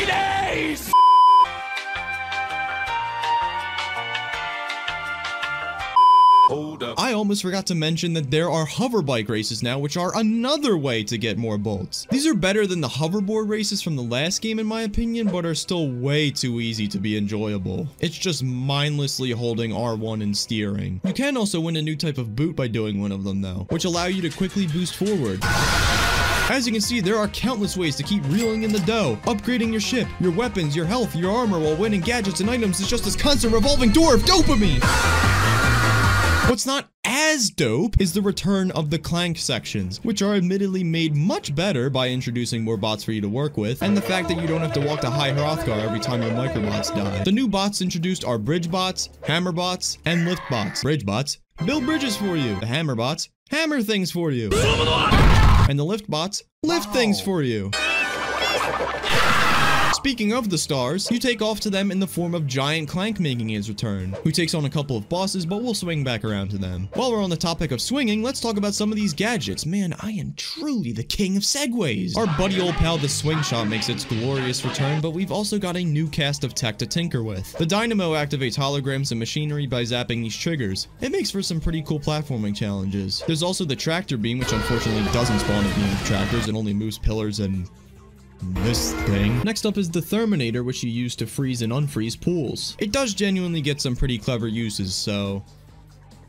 That's cool. After that, we have the Hypnomatic, and it's a shame it got introduced so late in the game because I think it really does have some potential. Basically, you can use it to hijack these little robots, and the robots can hijack other robots. I wish it had more time to develop. Next up is the Electrolyzer, which you win from the first Megacorp Arena, and it's like the Trespasser of this game. All you have to do is flick these switches in time to make sure you're not blocking off these trails of light. I think it fits the overall faster pace of the game better than something like the Trespasser would have, but I do also miss the more methodical, thought-provoking puzzle segments of Ratchet 1. But like I just said, this fits the game better anyway, so I should shut my pie hole. You get another lockpicking gadget of sorts known as the Infiltrator from the second Gladiator Arena, and it's pretty crap. You mindlessly go off in other directions trying to figure your way around this maze-like ball to link all these circuits together, and it's just not fun. There's barely any brain power you have to put behind it, you just jam the analog stick in a bunch of directions until you get it right. On the bright side, the Epic Gamer boots from the last game, the Grind Boots and newly dubbed Gravity Boots return, and the Gravity Boots are used mainly for some pretty cool arena battles, so that is nice. The music continues to be a nice highlight as well, although I do find this soundtrack to be slightly weaker than Ratchet 1's. The bosses, however, are quite weaker than Ratchet 1's, and that's saying a lot because Ratchet 1's weren't all that great either. With the exception of two optional bosses here, they are all complete shit. Let's talk about all the optional ones first, and then I'll delve into the story and talk about the main ones. So the first Megacorp Arena is home to Chainblade! Chainblade! and the B2 Brawler! Brawler! Brawler! Chainblade, fucking simpleton. I mean, come on, dude. I'm exposing you on YouTube right now. B2 Brawler, however, is actually pretty tough. He fires these beams at you and then pulls a Booker T and goes for the Spinneroonie, which always hits me at least once every time he does it. Pretty solid stuff. In the second Megacorp Arena, you take on the Arachnoid. Hmm. That was easy. Then there's Megapede, who flies around the arena, and you have to shoot down segments of his body, which are equipped with turrets and will start shooting at you, while the main Megapede also sends down these homing bombs. This one's pretty decent, but I have to say it is pretty cool to see the inspiration drawn from the battle with the dragons in Spyro 3. So after completing the second Megacorp arena, you also win the gravity boots, which you can then use to backtrack to the second level in the game. Go up this ramp, slide down this tube, and holy shit. The swamp monster is fairly durable, and you constantly have to be shifting from one lily pad to the next in an attempt to keep some distance. Easily its most dangerous form of attack though is when it relentlessly charges forward trying to eat you. This is a pretty solid fight. Beating him will grant you the box breaker which will allow you to simply slam your wrench and destroy any breakable objects in the area for bolts. You can also use the tractor beam to reach the secret area on another planet where you can trade for the armor magnetizer off this Qwark fanboy with a Qwark action figure that you buy off the returning plumber. See you in another year or so. What did he mean by that? The magnetizer, as I'm sure you figured out, brings faraway bolts to you. The final optional boss battle is against an alien mothership for the map O-Matic, which will reveal secret areas and the location of platinum bolts, crystals, and moonstones on the map. And maybe those nanotech things I was talking about? I didn't really look into that. Nothing too complex about this one, it's just a brawl, but it is fairly challenging. And that was Ratchet & Clank going commando- Fine, fine, we'll talk about the rest of the fucking bosses. After failing to recapture the experiment, Ratchet is chased off the ship by enemies he's already killed 30 times up to this point. Ratchet explores the swamp planet Shinonuma, but finds no clues on the thief's whereabouts. However, this is where we encounter our first boss of the game, but I'm not gonna give any shit to it because it's more of a strafing tutorial than anything. All I will say though, is when your tutorial is harder than nearly all the actual bosses, that's bad. After winning the electrolyzer at the Maktar Resort, we find out that the thief has kidnapped Clank, and we set out to rescue him. I don't really get what the point of separating these two in the beginning of the game was if you were just gonna reunite them so quickly, but Whatever. On another path of the same planet, we encounter our first real boss fight against the Thugs for Less leader. I just threw up air quotes when I said real boss fight because as you can see, this was easy as fuck. Thugs for Less is a gang of mercenaries hired by the thief to keep us off his hiney, and their leader is an absolute lovable idiot. Next, our space rendezvous point has been moved to, and listen up, knuckleheads, the Felsen system in Sector 12345. If you're no good with numbers, find a buddy to help you. Yes, yes, just like the last game, this one made me cackle hard. You idiot. Uh-oh. I'm paying top dollar for your protection, and your moron employees are off at some picnic. Hey, that was a bonding exercise. Enough! We do some races, some space battles, infiltrate a factory, and then we finally track down the thief for realsies and begin to fight him on top of these trucks, which is a really cool set piece. The trucks fall over and stop very suddenly. That is not how physics work. Ratchet should be dead. But he might die now in what is sure to be a climactic boss battle. That was even shorter than the last one. That's what she said. Uh, whatever, we got the fucking furball. Now we have to get it back to Mr. Fizzlefuck on this desert planet. This cutscene you're about to see, by the way, is easily my favorite in the game. When we first arrived, we found a planet completely overrun by rainforest. To better accommodate the local wildlife, we transformed this impassable jungle into an easily navigable desert. Ever the technological pioneer, Megacorp invented the automated management team, thereby eliminating costly upward mobility. And all the while, making your life richer. Drek was the clear-cut villain of Ratchet 1. Up to this point, the thief has been positioned that way, but really was never as malicious and threatening as Drek, and for good reason. We've been gunning to get this experiment back to Mr. Fizzwidget, who as I said earlier is the leader of Megacorp. And if you didn't notice up until now, this video package of the mining site you're heading to makes sure you know that Megacorp is the true enemy of the whole game. Once again, it is made blatantly clear to us all anybody in this universe cares about is making money. And unbeknownst to Ratchet and Clank, by returning the experiment to Fizzwidget, they are playing right into the hands of the enemy, who is much closer than they think. Nonetheless, the two return the experiment to him, and he accidentally ejects them from his ship, sending them crashing below the desert surface. Again, more role reversals at play here. If this were the first game, Clank would be trying to calm Ratchet down, and Ratchet would probably just opt to snap Clank in half over his knee. We almost make our way out of the cave completely before being halted right in our tracks by the thief who demands we hand over the experiment. The bozo falls over, revealing he is a she, and warns the two that they just put the galaxy in grave danger by returning the experiment to Fizzledorf. The two gather crystals for the sage so he can repair their ship that Fizzwidget crushed when they first landed, and head off for the planet Dobbo, home of the Megacorp testing facility. The duo find the girl Angela's suspicions to be true as they find a video of the experiment, which is soon named the Protopet, attacking its handlers, with employees calling for the experiment to be terminated. Speaking of terminated, so was Thugs for Less's contract with Angela in favor of protecting Mr. Fizzwidget because he seems to be going... nuts. Huh? Fuck you, that was good. Also, you fight the thug leader on this moon above the planet it's Giant Clank, and it's whatever, man. Can you tell I can't be bothered to talk about how blah most of these fights are? Then Ratchet and Clank get a DUI. How are you still alive? And are sent back to where the game started, the Thugs for Less prison. They break out of the Thugs prison pretty easily and go off to save Angela who's been captured by the Thug leader, which leads into the worst boss battle of the game. I never look forward to this boss battle because it's so goddamn long. That's what she said. As much as I hate how short the other bosses are, at least they're quick and painless, whereas this takes like 10 minutes. It's such a downer, especially after all the fast-paced gunning you had to do to get here. You just use turrets to shoot these bombs out of the sky over and over and over and over and over and over and over. I'm bored. I'm leaving. After rescuing Angela, she shows you a transmission from the thug leader, where you can see thousands and thousands of crates filled with rabid proto-pets ready to be shipped across the galaxy. We pull off some more heists before it's time to invade Megacorp HQ, where the original proto-pet can be found. The original proto-pet is being used to produce all the other proto-pets, so if the gang can take out the original, it'll shut all the others down. Oh, uh, yeah, by the way, uh, so Angela was a former Megacorp employee, and she has like her own ID card, and that's how she can get into the headquarters, and that's how she just knows about everything that's going on. So, yeah, should have filled you guys in about that earlier. I have to say, the last few levels of this game especially are really strong. Planet Smolg, home to the Megacorp's distribution center, is this ominous floating factory. It looks absolutely incredible, especially using your levitator, which is a gadget I forgot to mention. Then there's the barbaric but beautiful ice plains of Grelbin, accompanied by some fantastic music, fucking Yetis, and Leviathans, which are cool as hell. I know I'm very lonely in the fact that Grelbin is one of my favorites, and I totally understand why people would hate it. But I'm an idiot. I love Grelbin, even if it is very, very hard.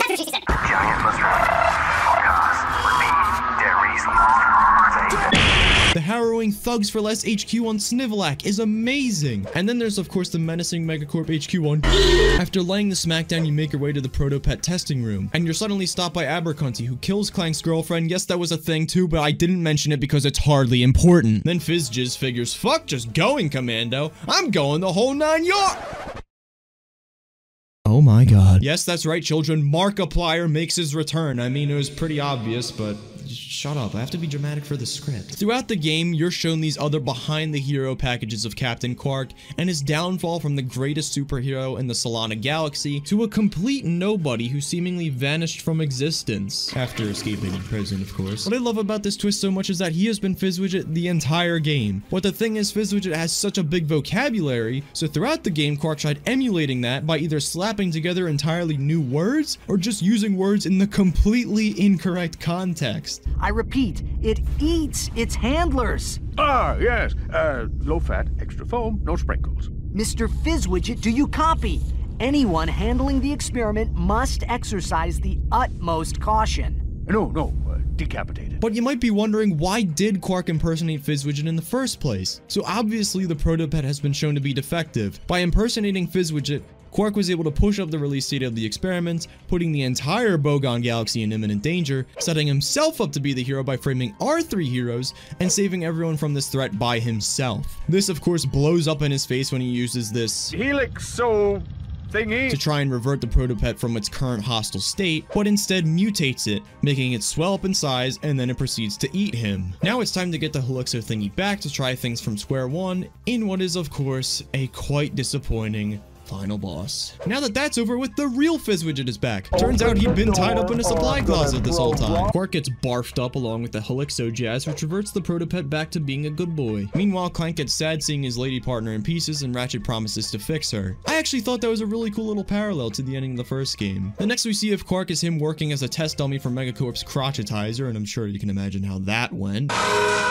And if you saw my review of Ratchet 1, go check it out, you'd know we're not done yet. No, sir, it's time for challenge mode. In challenge mode, instead of gold weapons like last time, you can now buy mega weapons, which will upgrade into ultra weapons. You also get a bolt multiplier, so the more enemies you kill without taking damage, the faster you'll gain bolts, and the multiplier can reach as high as 20 times. Not only that, but there's plenty of extras for you to scope out, such as paintings, a sketchbook full of concept art and other stuff, parody commercials, a making of video, and whatever this is. And you can even access the Insomniac Museum, which is full of cool cut content from the game, such as water nipples. And well, that's Ratchet and Clank 2. It's a shame the bosses were absolute dickhole because outside of them, I really only have nitpicks. The Infiltrator fucking sucks. The races are kind of boring and it didn't really make sense to separate Ratchet and Clank if they were just going to be reunited so quickly. And you could make the argument that Clank's reluctance to save the galaxy goes against his character. Oh, and of course, port issues where you see stuff outside the normal 4x3 ratio the game is upscaled from. Other than that, wow, what a game. The combat's immensely improved from a technical aspect and is just made way more interesting from the weapon upgrades and the mods and the overall better roster of weapons. The arenas are great, the deserts are great, the new health system is great, the armor is great, the characters are as enthralling as ever, the story's got more layers to it, the cutscenes are fantastic, the music is still fantastic, the ship segments are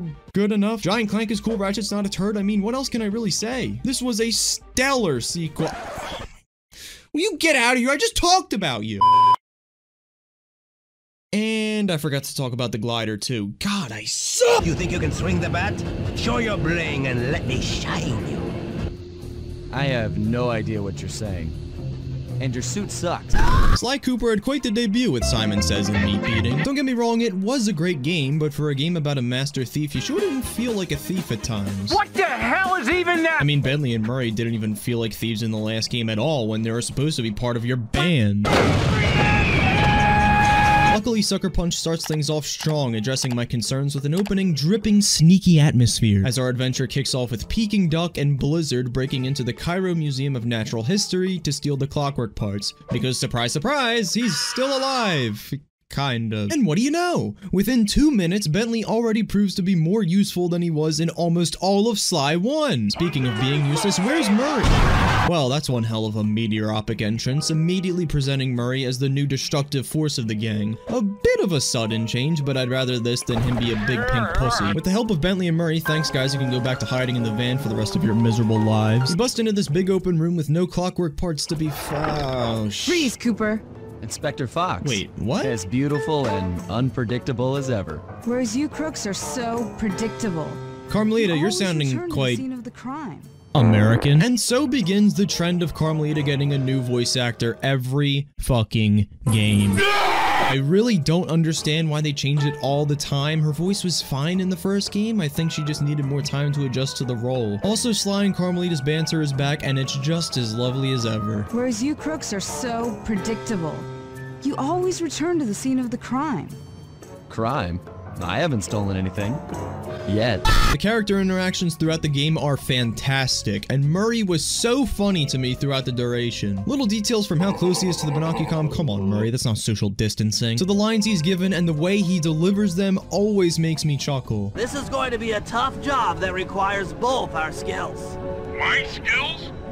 Okay, Bentley, if you say so. Anyway, Carmelita's not alone as she's packing Constable Neyla alongside her, who alludes to the fact that the clockwork parts being missing could be a Klaww Gang job, which is a better name than the Fiendish Five, I guess. Wait, Klaww Gang is with a K and two W's? Now that's cool! Things get more epic as Neyla perhaps inadvertently distracts Carmelita long enough for the boys to make another getaway, but goddamn, how the hell does she still have a job shooting like that? We get our first cutscene of the game, recapping Sly's origins, and also speculating Neyla may be purposely name-dropping the Klaww Gang? As you can probably see with the eyeballs. The cutscenes jack up in quality, fully embracing and refining the comic book approach they went for in Sly 1. The style just has such a pop and oomph to it.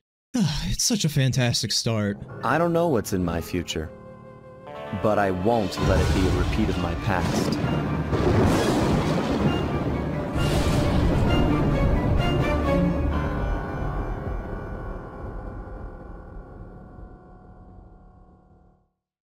Can I just say that is genuinely one of the most motivational quotes I've ever heard? Ah.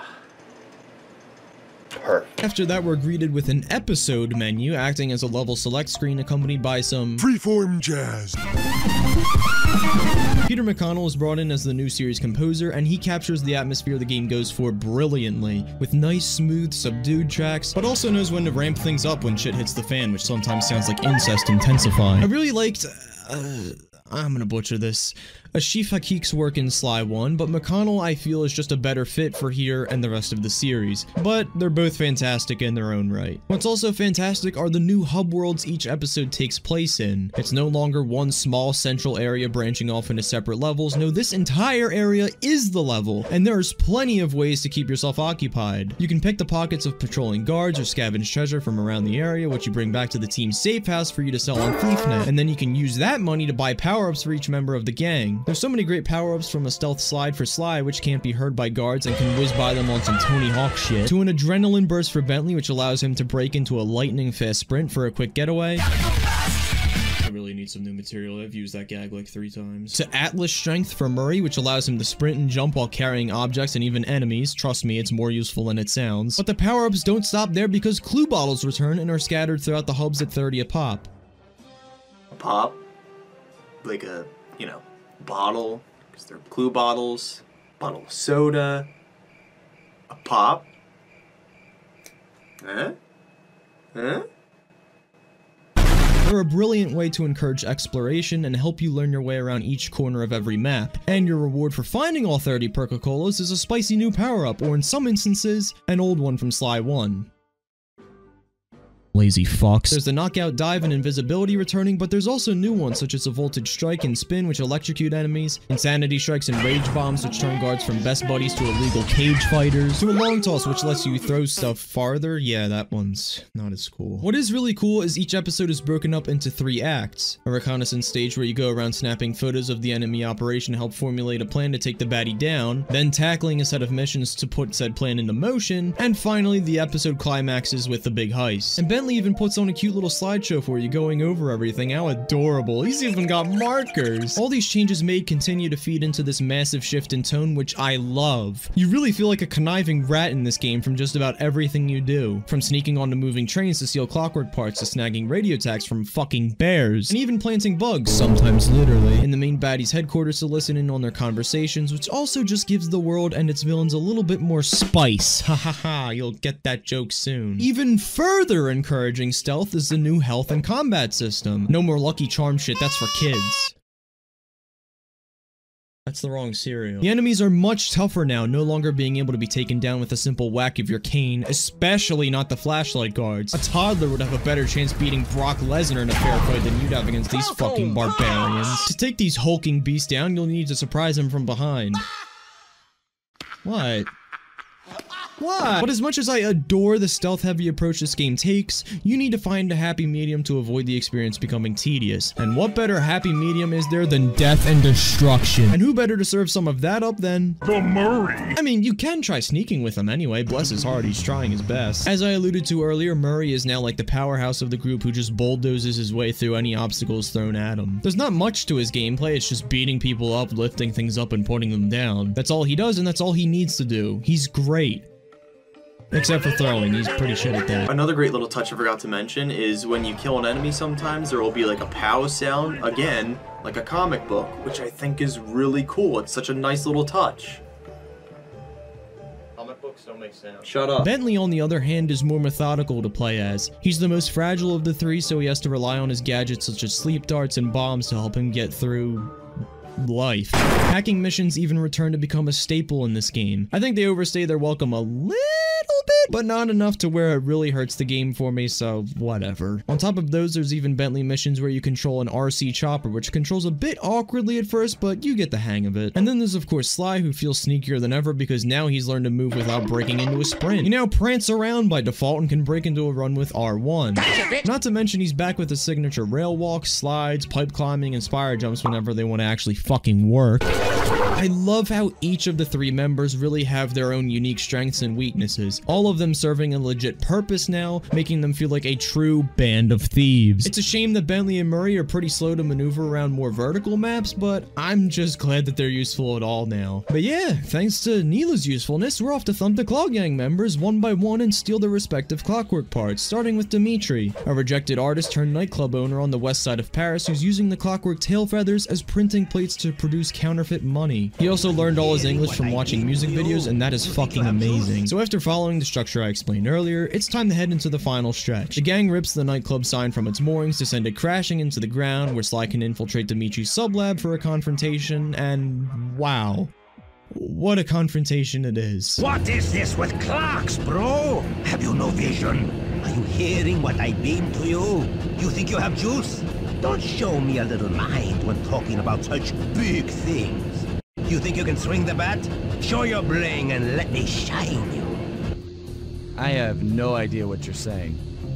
And your suit sucks. As for the boss fight itself, it's pretty decent. You just gotta look out for Dimitri's beams and be ready to dodge a strike once you're up close. Once Dimitri's busted, we head off to India to take down Rajan, who's in possession of the clockwork wings. He was a poor lad growing up on the streets of Calcutta and began his life of crime selling illegal spices, which eventually brought him to present day where he's become the Klaww Gang's lead spice manufacturer. After tricking Miss Carmelita into a dance with Sly, that gives the gang the distraction they need to steal the wings right out from Rajan's ballroom party. Humiliated, he retreats to literally the heart of his spice operation deep in the jungle where episode 3 takes place. Long story short, we destroy his spice operation in slow motion which brings him out of hiding, and Neyla who's been helping us throughout the game so far by leading us to secret entrances for missions and even setting up the ballroom dance with Carmelita, betrays us, leading to Sly getting incapacitated and Murray having to step in to deal with Raja- Jesus Christ, Murray. On some real shit, I just love everything Murray does. I love this cutscene, it's so yummy. Who's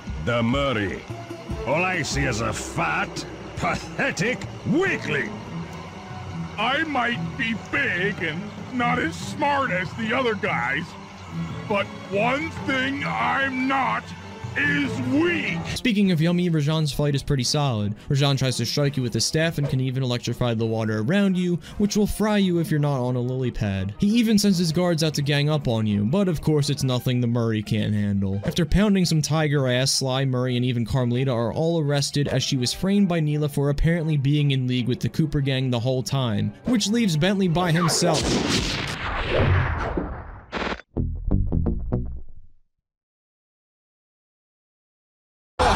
Yeah! Good job, everybody! I've gone on about how much I love the way this game leans into the stealth side of things much more than the last, but my absolute favorite thing about Sly 2 is easily Bentley's character arc. Going back to Sly 1, he never left the van, and was even disgusted at the thought of stepping foot outside of it in the case of Haiti. Then he was terrified to be out on the field at all in the beginning of this game, but time after time his confidence has continued to swell with each passing job he's completed. And now this dude is slashing his way through the jungle all the way back to the team van, which he now learns to drive himself, and does a week of data crunching to find where his best friends have been imprisoned so he can free them. What a beast. This leads to episode 4, Jailbreak where Bentley has to make his way to the Contessa's prison in Prague. The Contessa, who is a high-ranking member of Interpol but is also a secret member of the Klaww Gang as their chief hypnotist, married a wealthy aristocrat who just so happened to die of poisoning a mere few weeks after their wedding ceremony. She then proceeded to open a rehabilitation center for criminals with her newly inherited estate, where she would supposedly relieve criminals of their bad vibes. But really, she was just hypnotizing them to tell her where they hid all their loot. After doing some eavesdropping on the eight-legged cow, hacking the train system to send it crashing through the prison walls, and disposing of the guards on duty along said prison walls, Sly is freed. The duo break into solitary confinement as Murray purposely got himself thrown in for the plan and, uh... Well, he's on drugs. Who is that? What's The Contessa's been using these hypno boxes to heighten the effects of illegal spice they've been feeding him, but after destroying the machines, he's back to normal, or at least as normal as Murray can be. Unfortunately, despite their pursuit, the Contessa escapes, but who gives a shit? This is adorable. They're laughing and smiling and eating hot dogs. They're so happy to be together again. So the Contessa is now hiding out at her castle estate and more importantly, is in possession of the clockwork eyes. With word getting out of her corrupt tactics, I mean, who knew a big ass spider wasn't all warm and fuzzy inside after all. Neyla was granted a full-scale army from Interpol as a means of taking her down. It turns out that Carmelita's been taken to the Contessa's re-education tower, ready to be brainwashed with the help of the clockwork eyes. Wow, DeviantArt must have had a field day with this. Eventually, the gang frees Carmelita and she chases the Contessa. How did you miss that? Come then everything just breaks into complete chaos. Neyla gets the clockwork eye, Bentley fucking dies, or somehow doesn't. What the hell? Carmelita took the other eye, and we gotta chase her down in the most awkward to control vehicle I've ever used in my entire life, but by some miracle, we gun her down. The Contessa's ass is kicked quite easily twice. Oh god, more DeviantArt material! And yeah, that, uh... It got out of hand quickly, but that's yet another clockwork part for the Cooper gang. And now it's time for a literal cooldown period as the gang heads off for John Bison in Canada. Bison was a prospector during the gold rush who was frozen in an avalanche, but due to global warming, he thawed out and now serves as spice distributor for the Klaww gang through his train system across North America. Personally, the Canada levels are my favorite. I love snowy settings, as I'm sure you guys know by now, and I think John Bison's episodes are host to some of the most fun missions in the game, from tailing Carmelita to infiltrating Bison's trains to stealing an eagle egg and more. I just think they're really fun. Bison is in possession of the clockwork lungs and stomach. By the final heist, the gang had already swiped the lungs off two of his trains, but on the third train, Neyla reemerges attempting to snatch the clockwork stomach for herself, leading to a showdown with Bentley's RC chopper in what I found to be a moderately challenging battle. She sends out her own little biplanes and there's projectiles she fires at you which can be pretty tricky to evade at times. Because of constantly trying to avoid taking damage, it makes getting some shots of your own in harder, which I think is a really neat little element to the fight. This was awesome! Definitely my favorite boss of the game. After doing away with her twice, the clockwork stomach is I've in our possession. stomach on my oh, hand, shut the fuck up, that- Slaw! Lads notice some sketchy shit going on with the Northern Lights, so they decide to follow them, which leads to Bison's lumber camp where he is also in possession of the clockwork talons, where we get word of the final Klaww Gang member Arpeggio allegedly making his way over to pick up the Northern Light battery. The only way the gang could possibly seize Arpeggio's clockwork brain is by sneaking onto his blimp, and the only foreseeable way to do that would be to drain the Northern Light battery of its power and stow away inside during the pickup. But before then, we of course have to retrieve the clockwork talons from Bison, who decides to gamble them in his lumberjack games. As you'd expect, the gang enters the competition and does whatever they can to make sure things go their way. But despite their best efforts to throw off Bison, he unfortunately has the judges intimidated so that they'll always score his performances 7.8 out of 10 too much water. This leads to the gang having to improvise by leading the duck judges into a cave and stealing their clothes to disguise themselves so they can curb the scores. Wait, does this mean they ripped off their fucking beaks? Once again, this goes south for our boys, however, causing the three to be put out of commission by Bison. And on top of that, Bison even confiscates the clockwork parts they've collected and sells them all to Arpeggio, completely undermining everything the gang has done and gone through to make it this far. On the bright side, this leads to, in my opinion, a pretty neat fight. Bentley uses a walkie-talkie to communicate with Sly, who's inside the sawmill control room, to inform him of when to activate certain traps when Bison is in the proper position. I don't know, I thought that was pretty cool. The gang escapes and books it for the Northern Light battery, and before they know it, they're up and away. Oh, they lost the van too? Are you kidding me? The final chapter, episode 8, in my opinion, for the atmosphere alone, is great. It's just this chaotic whirlwind perfectly encapsulating the impending dread of Clockwerk being resurrected, and how everything could go haywire any second now. Unfortunately for the Cooper gang, Clockwerk has already been fully reconstructed, and Neyla's here. Well, you just die already? Here we get a lengthy exposition of, well, everything up to this point and why it all matters. Arpeggio's backstory is basically that he can't fly, so he wants to use Clockwerk's body to be able to fly. Or at least that's what the cutscene about him would lead you to believe. But here he explains that immortality is what he seeks, and Clockwerk's vessel is the perfect prop for eternal life. Basically, Arpeggio lets Sly retrieve all the Clockwerk parts for him, and plans to unload a hypnotic light show of hate on the people of Paris from his blimp, using the power of the Northern Light batteries he's been collecting, along with legal spice produced by Rajan and distributed by John. And said spice was laced in the food of many people at Dimitri's nightclub, and the spice is also susceptible to a hypnotic rage as proven by Murray. And apparently Clockwerk has been immortal this whole time because of hatred. Uh, sure, we'll go with that. Definitely has nothing to do with the fact that he's a fucking robot. Then Neyla double crosses yet another person, yes, Arpeggio lasted that long in the story, and merges herself with Clockwerk to become... Clockla? But why? Why would you do that? Why would you do any of that? Well, that happened. Let's kill it. The fight here is quite tedious in my opinion, just slow-moving rockets and electric rings stand in your way, both of which are easy to take down. Once you bring Clockla's health down low enough, she storms off towards the safe house in a rage and rips it from the blimp, but not before Murray gets one last pose in for those with the benefit of flash photography. With the blimp in shambles and Clockla out in the distance with our captive friends, it's just a very surreal climax, just like the one I gave your mom. Soaring out into the void, you eventually make it to the bird and whack its head until it comes crashing down. Now it's time to pry open Clockla's mouth and destroy the, the hate chip, which is the source of her power. Okay, you're really losing me here. Bentley snags the hate chip and then... Let's get out of here! She's about to explode!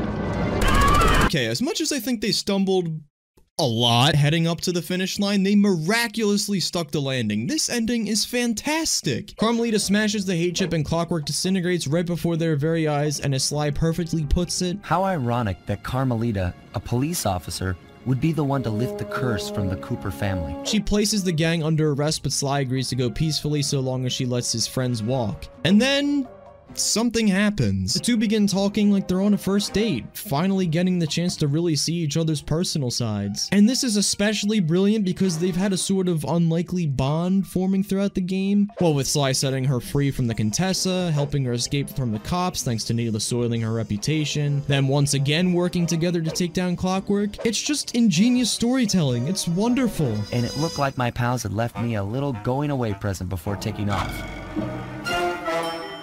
Floating away on the night breeze, I could faintly make out Carmelita's voice. I'll find you, Cooper!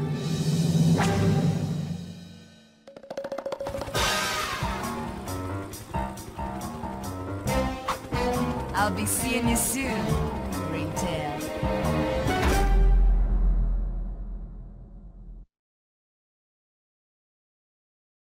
I love this ending. And well, I love this game. I love how much more of a team the gang feels like here and love how their friendship feels much stronger than ever before. The refined art style is fantastic, the music is atmospheric, the game just feels more thievy which is exactly what I wanted from the mission structure to the operations, and even little additions like treasures and pickpocketing. The clue bottles are nicely repackaged, the hub worlds are a great change, the story is much more layered, and hey, this game's funnier than the first too, so that's a bonus. I should have figured a puny turtle like you'd find a rat hole to squirm through.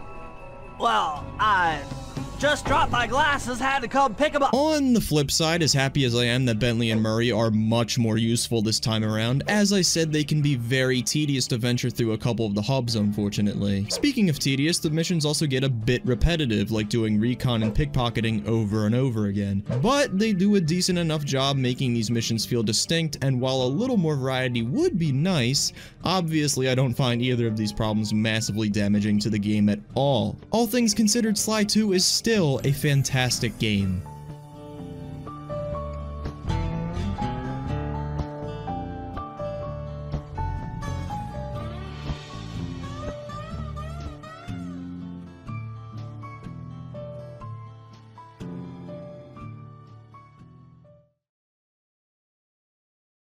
But seriously, the Clockla thing sucked cockla. Oh shit, I have a bag of Milky Way.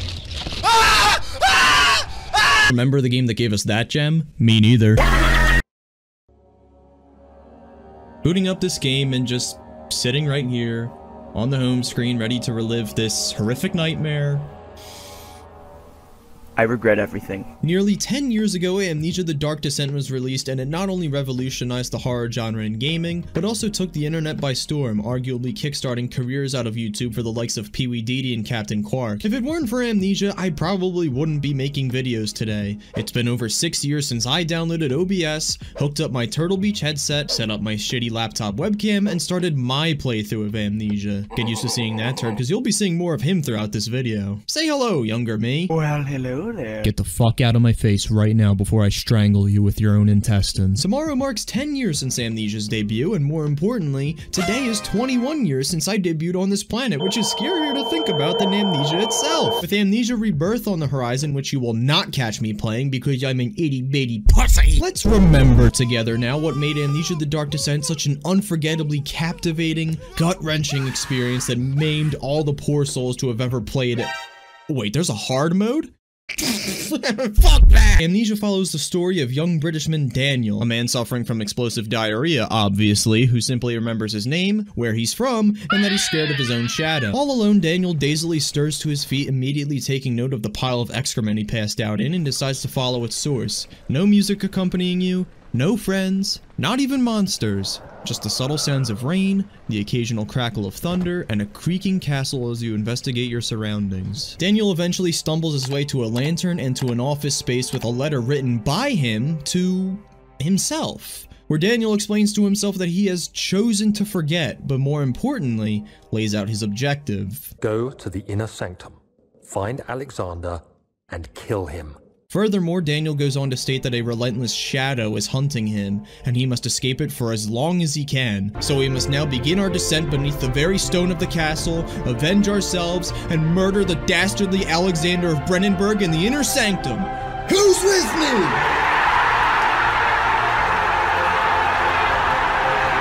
Fuck that, I'm out of here.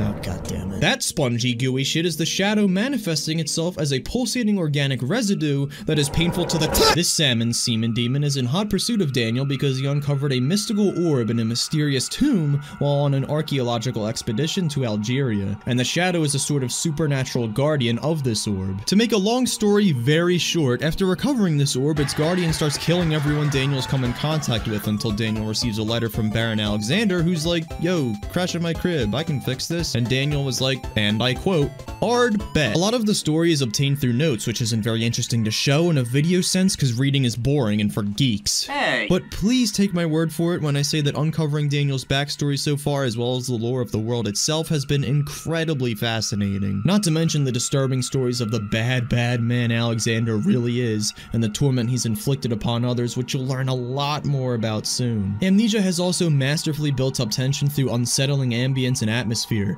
equipped with fantastic sound design and an ominous soundtrack, all of which messing with the player's head and keeping them on the edge of their seat afraid to swing open any door in front of them in fear of what could be lurking behind. Combined with these presentation aspects, Amnesia introduces some ingenious gameplay mechanics, such as tinder boxes which light torches and a lantern which runs on oil. But the most infamous mechanic used in Amnesia is the sanity mechanic, which is literally game-changing. Daniel's sanity can alter to four different levels. The more your sanity drops, the creepier and more unnerving your environment becomes, and you can even hallucinate monsters. Your sanity drops from looking at enemies, witnessing unsettling events, and most brilliantly and despicably, fuck you frictional game, staying in the dark for too long. If you stay in the dark for too long, the game punishes you. If you stay in the light for too long, the game punishes you. Amnesia presents a near constant, spine-chilling, blood-curdling sense of danger no matter where you go or what you do. I am literally trembling here and nothing is happening but I wanted to cry. Body right now is just shaking. What a bitch. This invisible water monster known as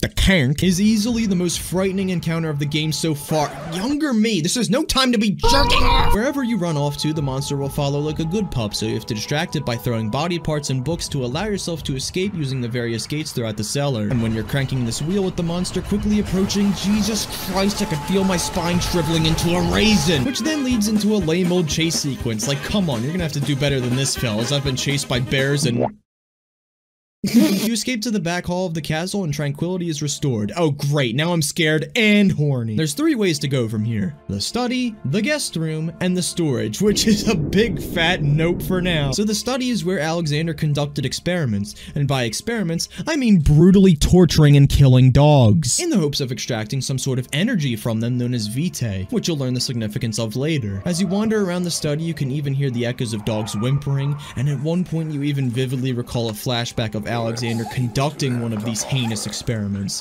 which is just more heartbreaking than words could do justice. And to make things worse, the torture of these poor animals was all for naught as Alexander found their vitae output insufficient, which inspired him to move on to humans to get the energy he required. Dear fucking god, no, no, what we require at this moment is access to the elevator so we can venture further into the depths of Castle Brennan Bob's Burgers. So we retrieve a key from Daniel's old room for the machine room so we can go in and repair the darn thing, but not before being stopped dead in our tracks by a monster, where the game introduces the hiding mechanic, which will obviously come in very, very handy because, oh, that's right, you can't fight back against the monsters. You either hide, run, or die. Speaking of which, welcome to the storage. Oh, hell no. Fuck the storage. This place is consumed by a strange, unnatural darkness, and it is very scary not just cause of that, but because for most players, it will be your first true encounter with a monster besides the croc. All this terrible bull S word is endured just to get some rods to repair an elevator, and then the elevator does its best Tower of Terror impression and rockets downward at approximately 200 miles per hour.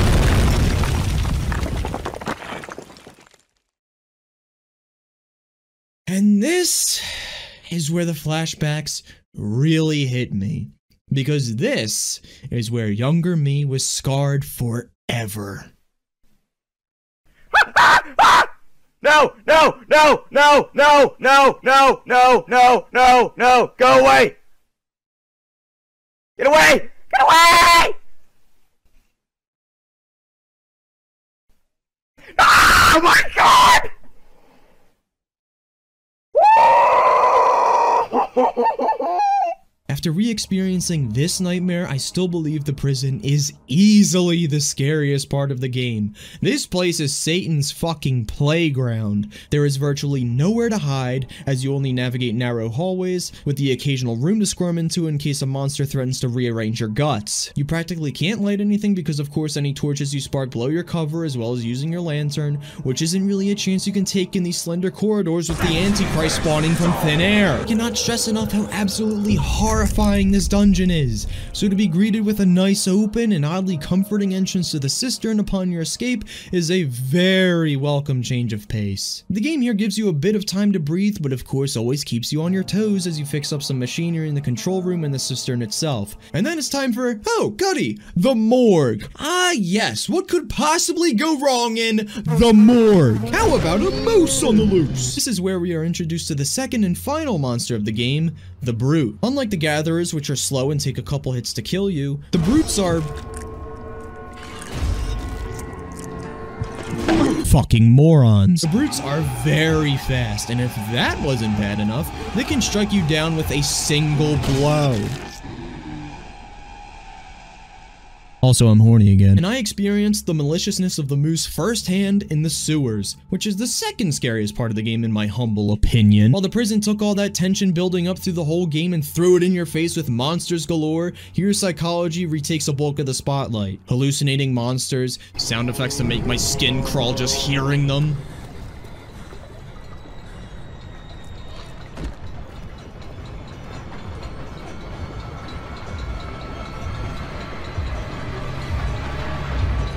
Walking into a room and seeing the monsters who've taunted you for so long sliced in half, Jesus Christ. And that's not even the worst of it, because at the end of the tunnels, you have to distract the Moose Man and run for your life. I hate this game! The sewer leads to what you could consider the final hub area of the game, the Nave.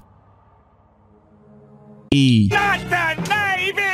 After taking a girthy spiral staircase, you meet Agrippa, who despite practically being a zombie, is the most comforting thing you come across the whole game because he's actually someone to talk to. It turns out he has quite a history with Alexander, as he explains Alexander broke his orb a long time ago when Alexander prematurely attempted to open the portal back to his home world. As Alexander currently has Daniel's orb in his possession, until we put Agrippa's back together, there is no chance of breaching the inner sanctum. So now we have to scout the choir and the transept for the six fragmented pieces of the orb, and both are quite nerve-wracking. Well, the transept is at least. The choir wasn't too crazy. There's my hot take for the day. While areas like the storage, prison, and sewer all provided great scares, the transept was easily the creepiest, eeriest, and thematically darkest out of all areas of the game. What separates the transept from all other sections is the fact that it is so rooted in reality. Well, except for the part where there's sunlight coming through windows. We should be like 2,000 feet below the Earth's surface right now. How are there windows, and why am I questioning this sort of logic in a game about an interdimensional being trying to harness the power of a mythical ore? The transept is where much of the torturing by Alexander and Daniel took place. But why would Daniel torture people? Well, in fear that the shadow was closing in on them, Alexander tricked Daniel into torturing people the Baron claimed were criminals repeatedly with amnesia potions as sacrifices in an attempt to ward off the shadow. But really Alexander was just using Daniel to gather vitae through torture to power Daniel's orb so Alexander could return to his homeworld from which he was banished hundreds of years ago for unknown reasons. These monsters you've seen are actually Alexander's servants, and they gathered, hence their name, humans and threw them in the castle prison for Alexander to perform his experiments on. After running out of prisoners, the duo kidnapped a mother and three children from a farm not far from the castle, and one day one of the children they kidnapped escaped the prison. In fear that she would escape the castle, Daniel chased the little girl all the way up to the storage and murdered her in cold blood. He murdered an innocent child solely to protect himself. And this is the real Dark Descent. Amnesia is not just about evading monsters, it's about a desperate man becoming one as he plunges into darkness in the pursuit of salvation. The immeasurable guilt immediately flooded his body, shattering his psyche. Afraid that Daniel would soon turn on him, Alexander abandoned Daniel and locked himself in the orb chamber ready to begin the ritual which would send him home, leaving the shadow to consume Daniel. Enraged by Alexander deserting him, Daniel swore to kill Alexander for making him a monster. But as his heavy heart was too much to bear, he took an amnesia potion which they normally used on their torture victims and instead used it on himself. But before doing so, he left himself a letter to simply kill Alexander when he awakens in the hope of burying his past and redeeming himself once and for all. And that's what makes this the most unsettling section of the game for me. Amnesia the Dark Descent has interdimensional beings, artifacts, and worlds beyond our comprehension. Not to mention the monsters, while scathing, obviously couldn't happen in real life. Then again, 2020's been pretty fucking crazy, so who knows. But torture based off real methods, hearing these people beg for mercy, and the snapping and crackling of bones, the cutting of saws through flesh, and all the guilt Daniel caused himself by becoming someone he absolutely absolutely hates feels so real. And that is really fucking terrifying. And I wish I could say the same about the choir. Look, it's not that this place isn't creepy, alright? It's got all that torture shite and a gnarly jump scare, but what doesn't click with this place for me is how open it is. There wasn't anywhere you could step in the cellar without the water monster ripping into you. The prison made me incredibly claustrophobic with its tight hallways, making me feel suffocated. Then the sewer leaves you no choice but to face the monster and you just have to run for your life. But the choir? Sure, there's some monsters lurking about, but it's the size of a goddamn football field, and as long as you stay close to the walls and behind pillars, you're gonna have no trouble navigating it whatsoever. It just feels a couple steps down from where we've already been, you know?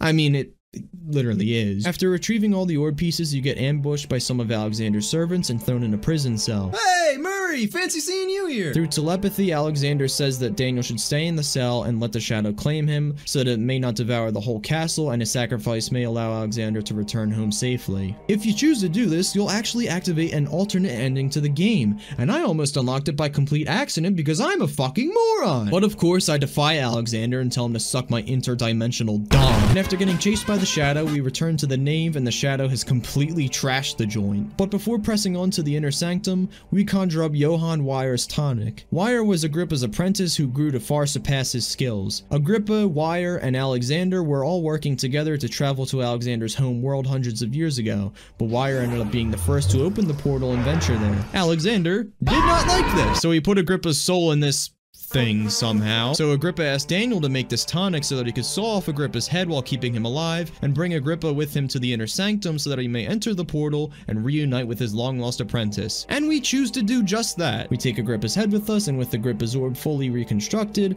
we finally breach the inner sanctum for the long awaited confrontation with the pasty old man as the ritual nears completion. From here there are actually three endings. The bad ending where you let Alexander escape and you just die. The revenge ending where you ruin the ritual by tipping over the pillars, Alexander is consumed by the shadow, and you leave Brennenburg knowing the man who made you a monster has been slain. And finally, the ending I chose, which is where you throw Agrippa's head into the portal to be reunited with his apprentice. This leaves both you and Alexander to be devoured by the shadow, however, Agrippa pleads with Weyer on the other side to spare Daniel's soul, as Agrippa commends Daniel for his noble sacrifice, saying he deserves so much more.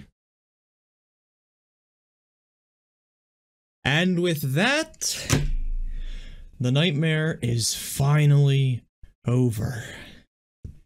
And god damn it, I loved this nightmare.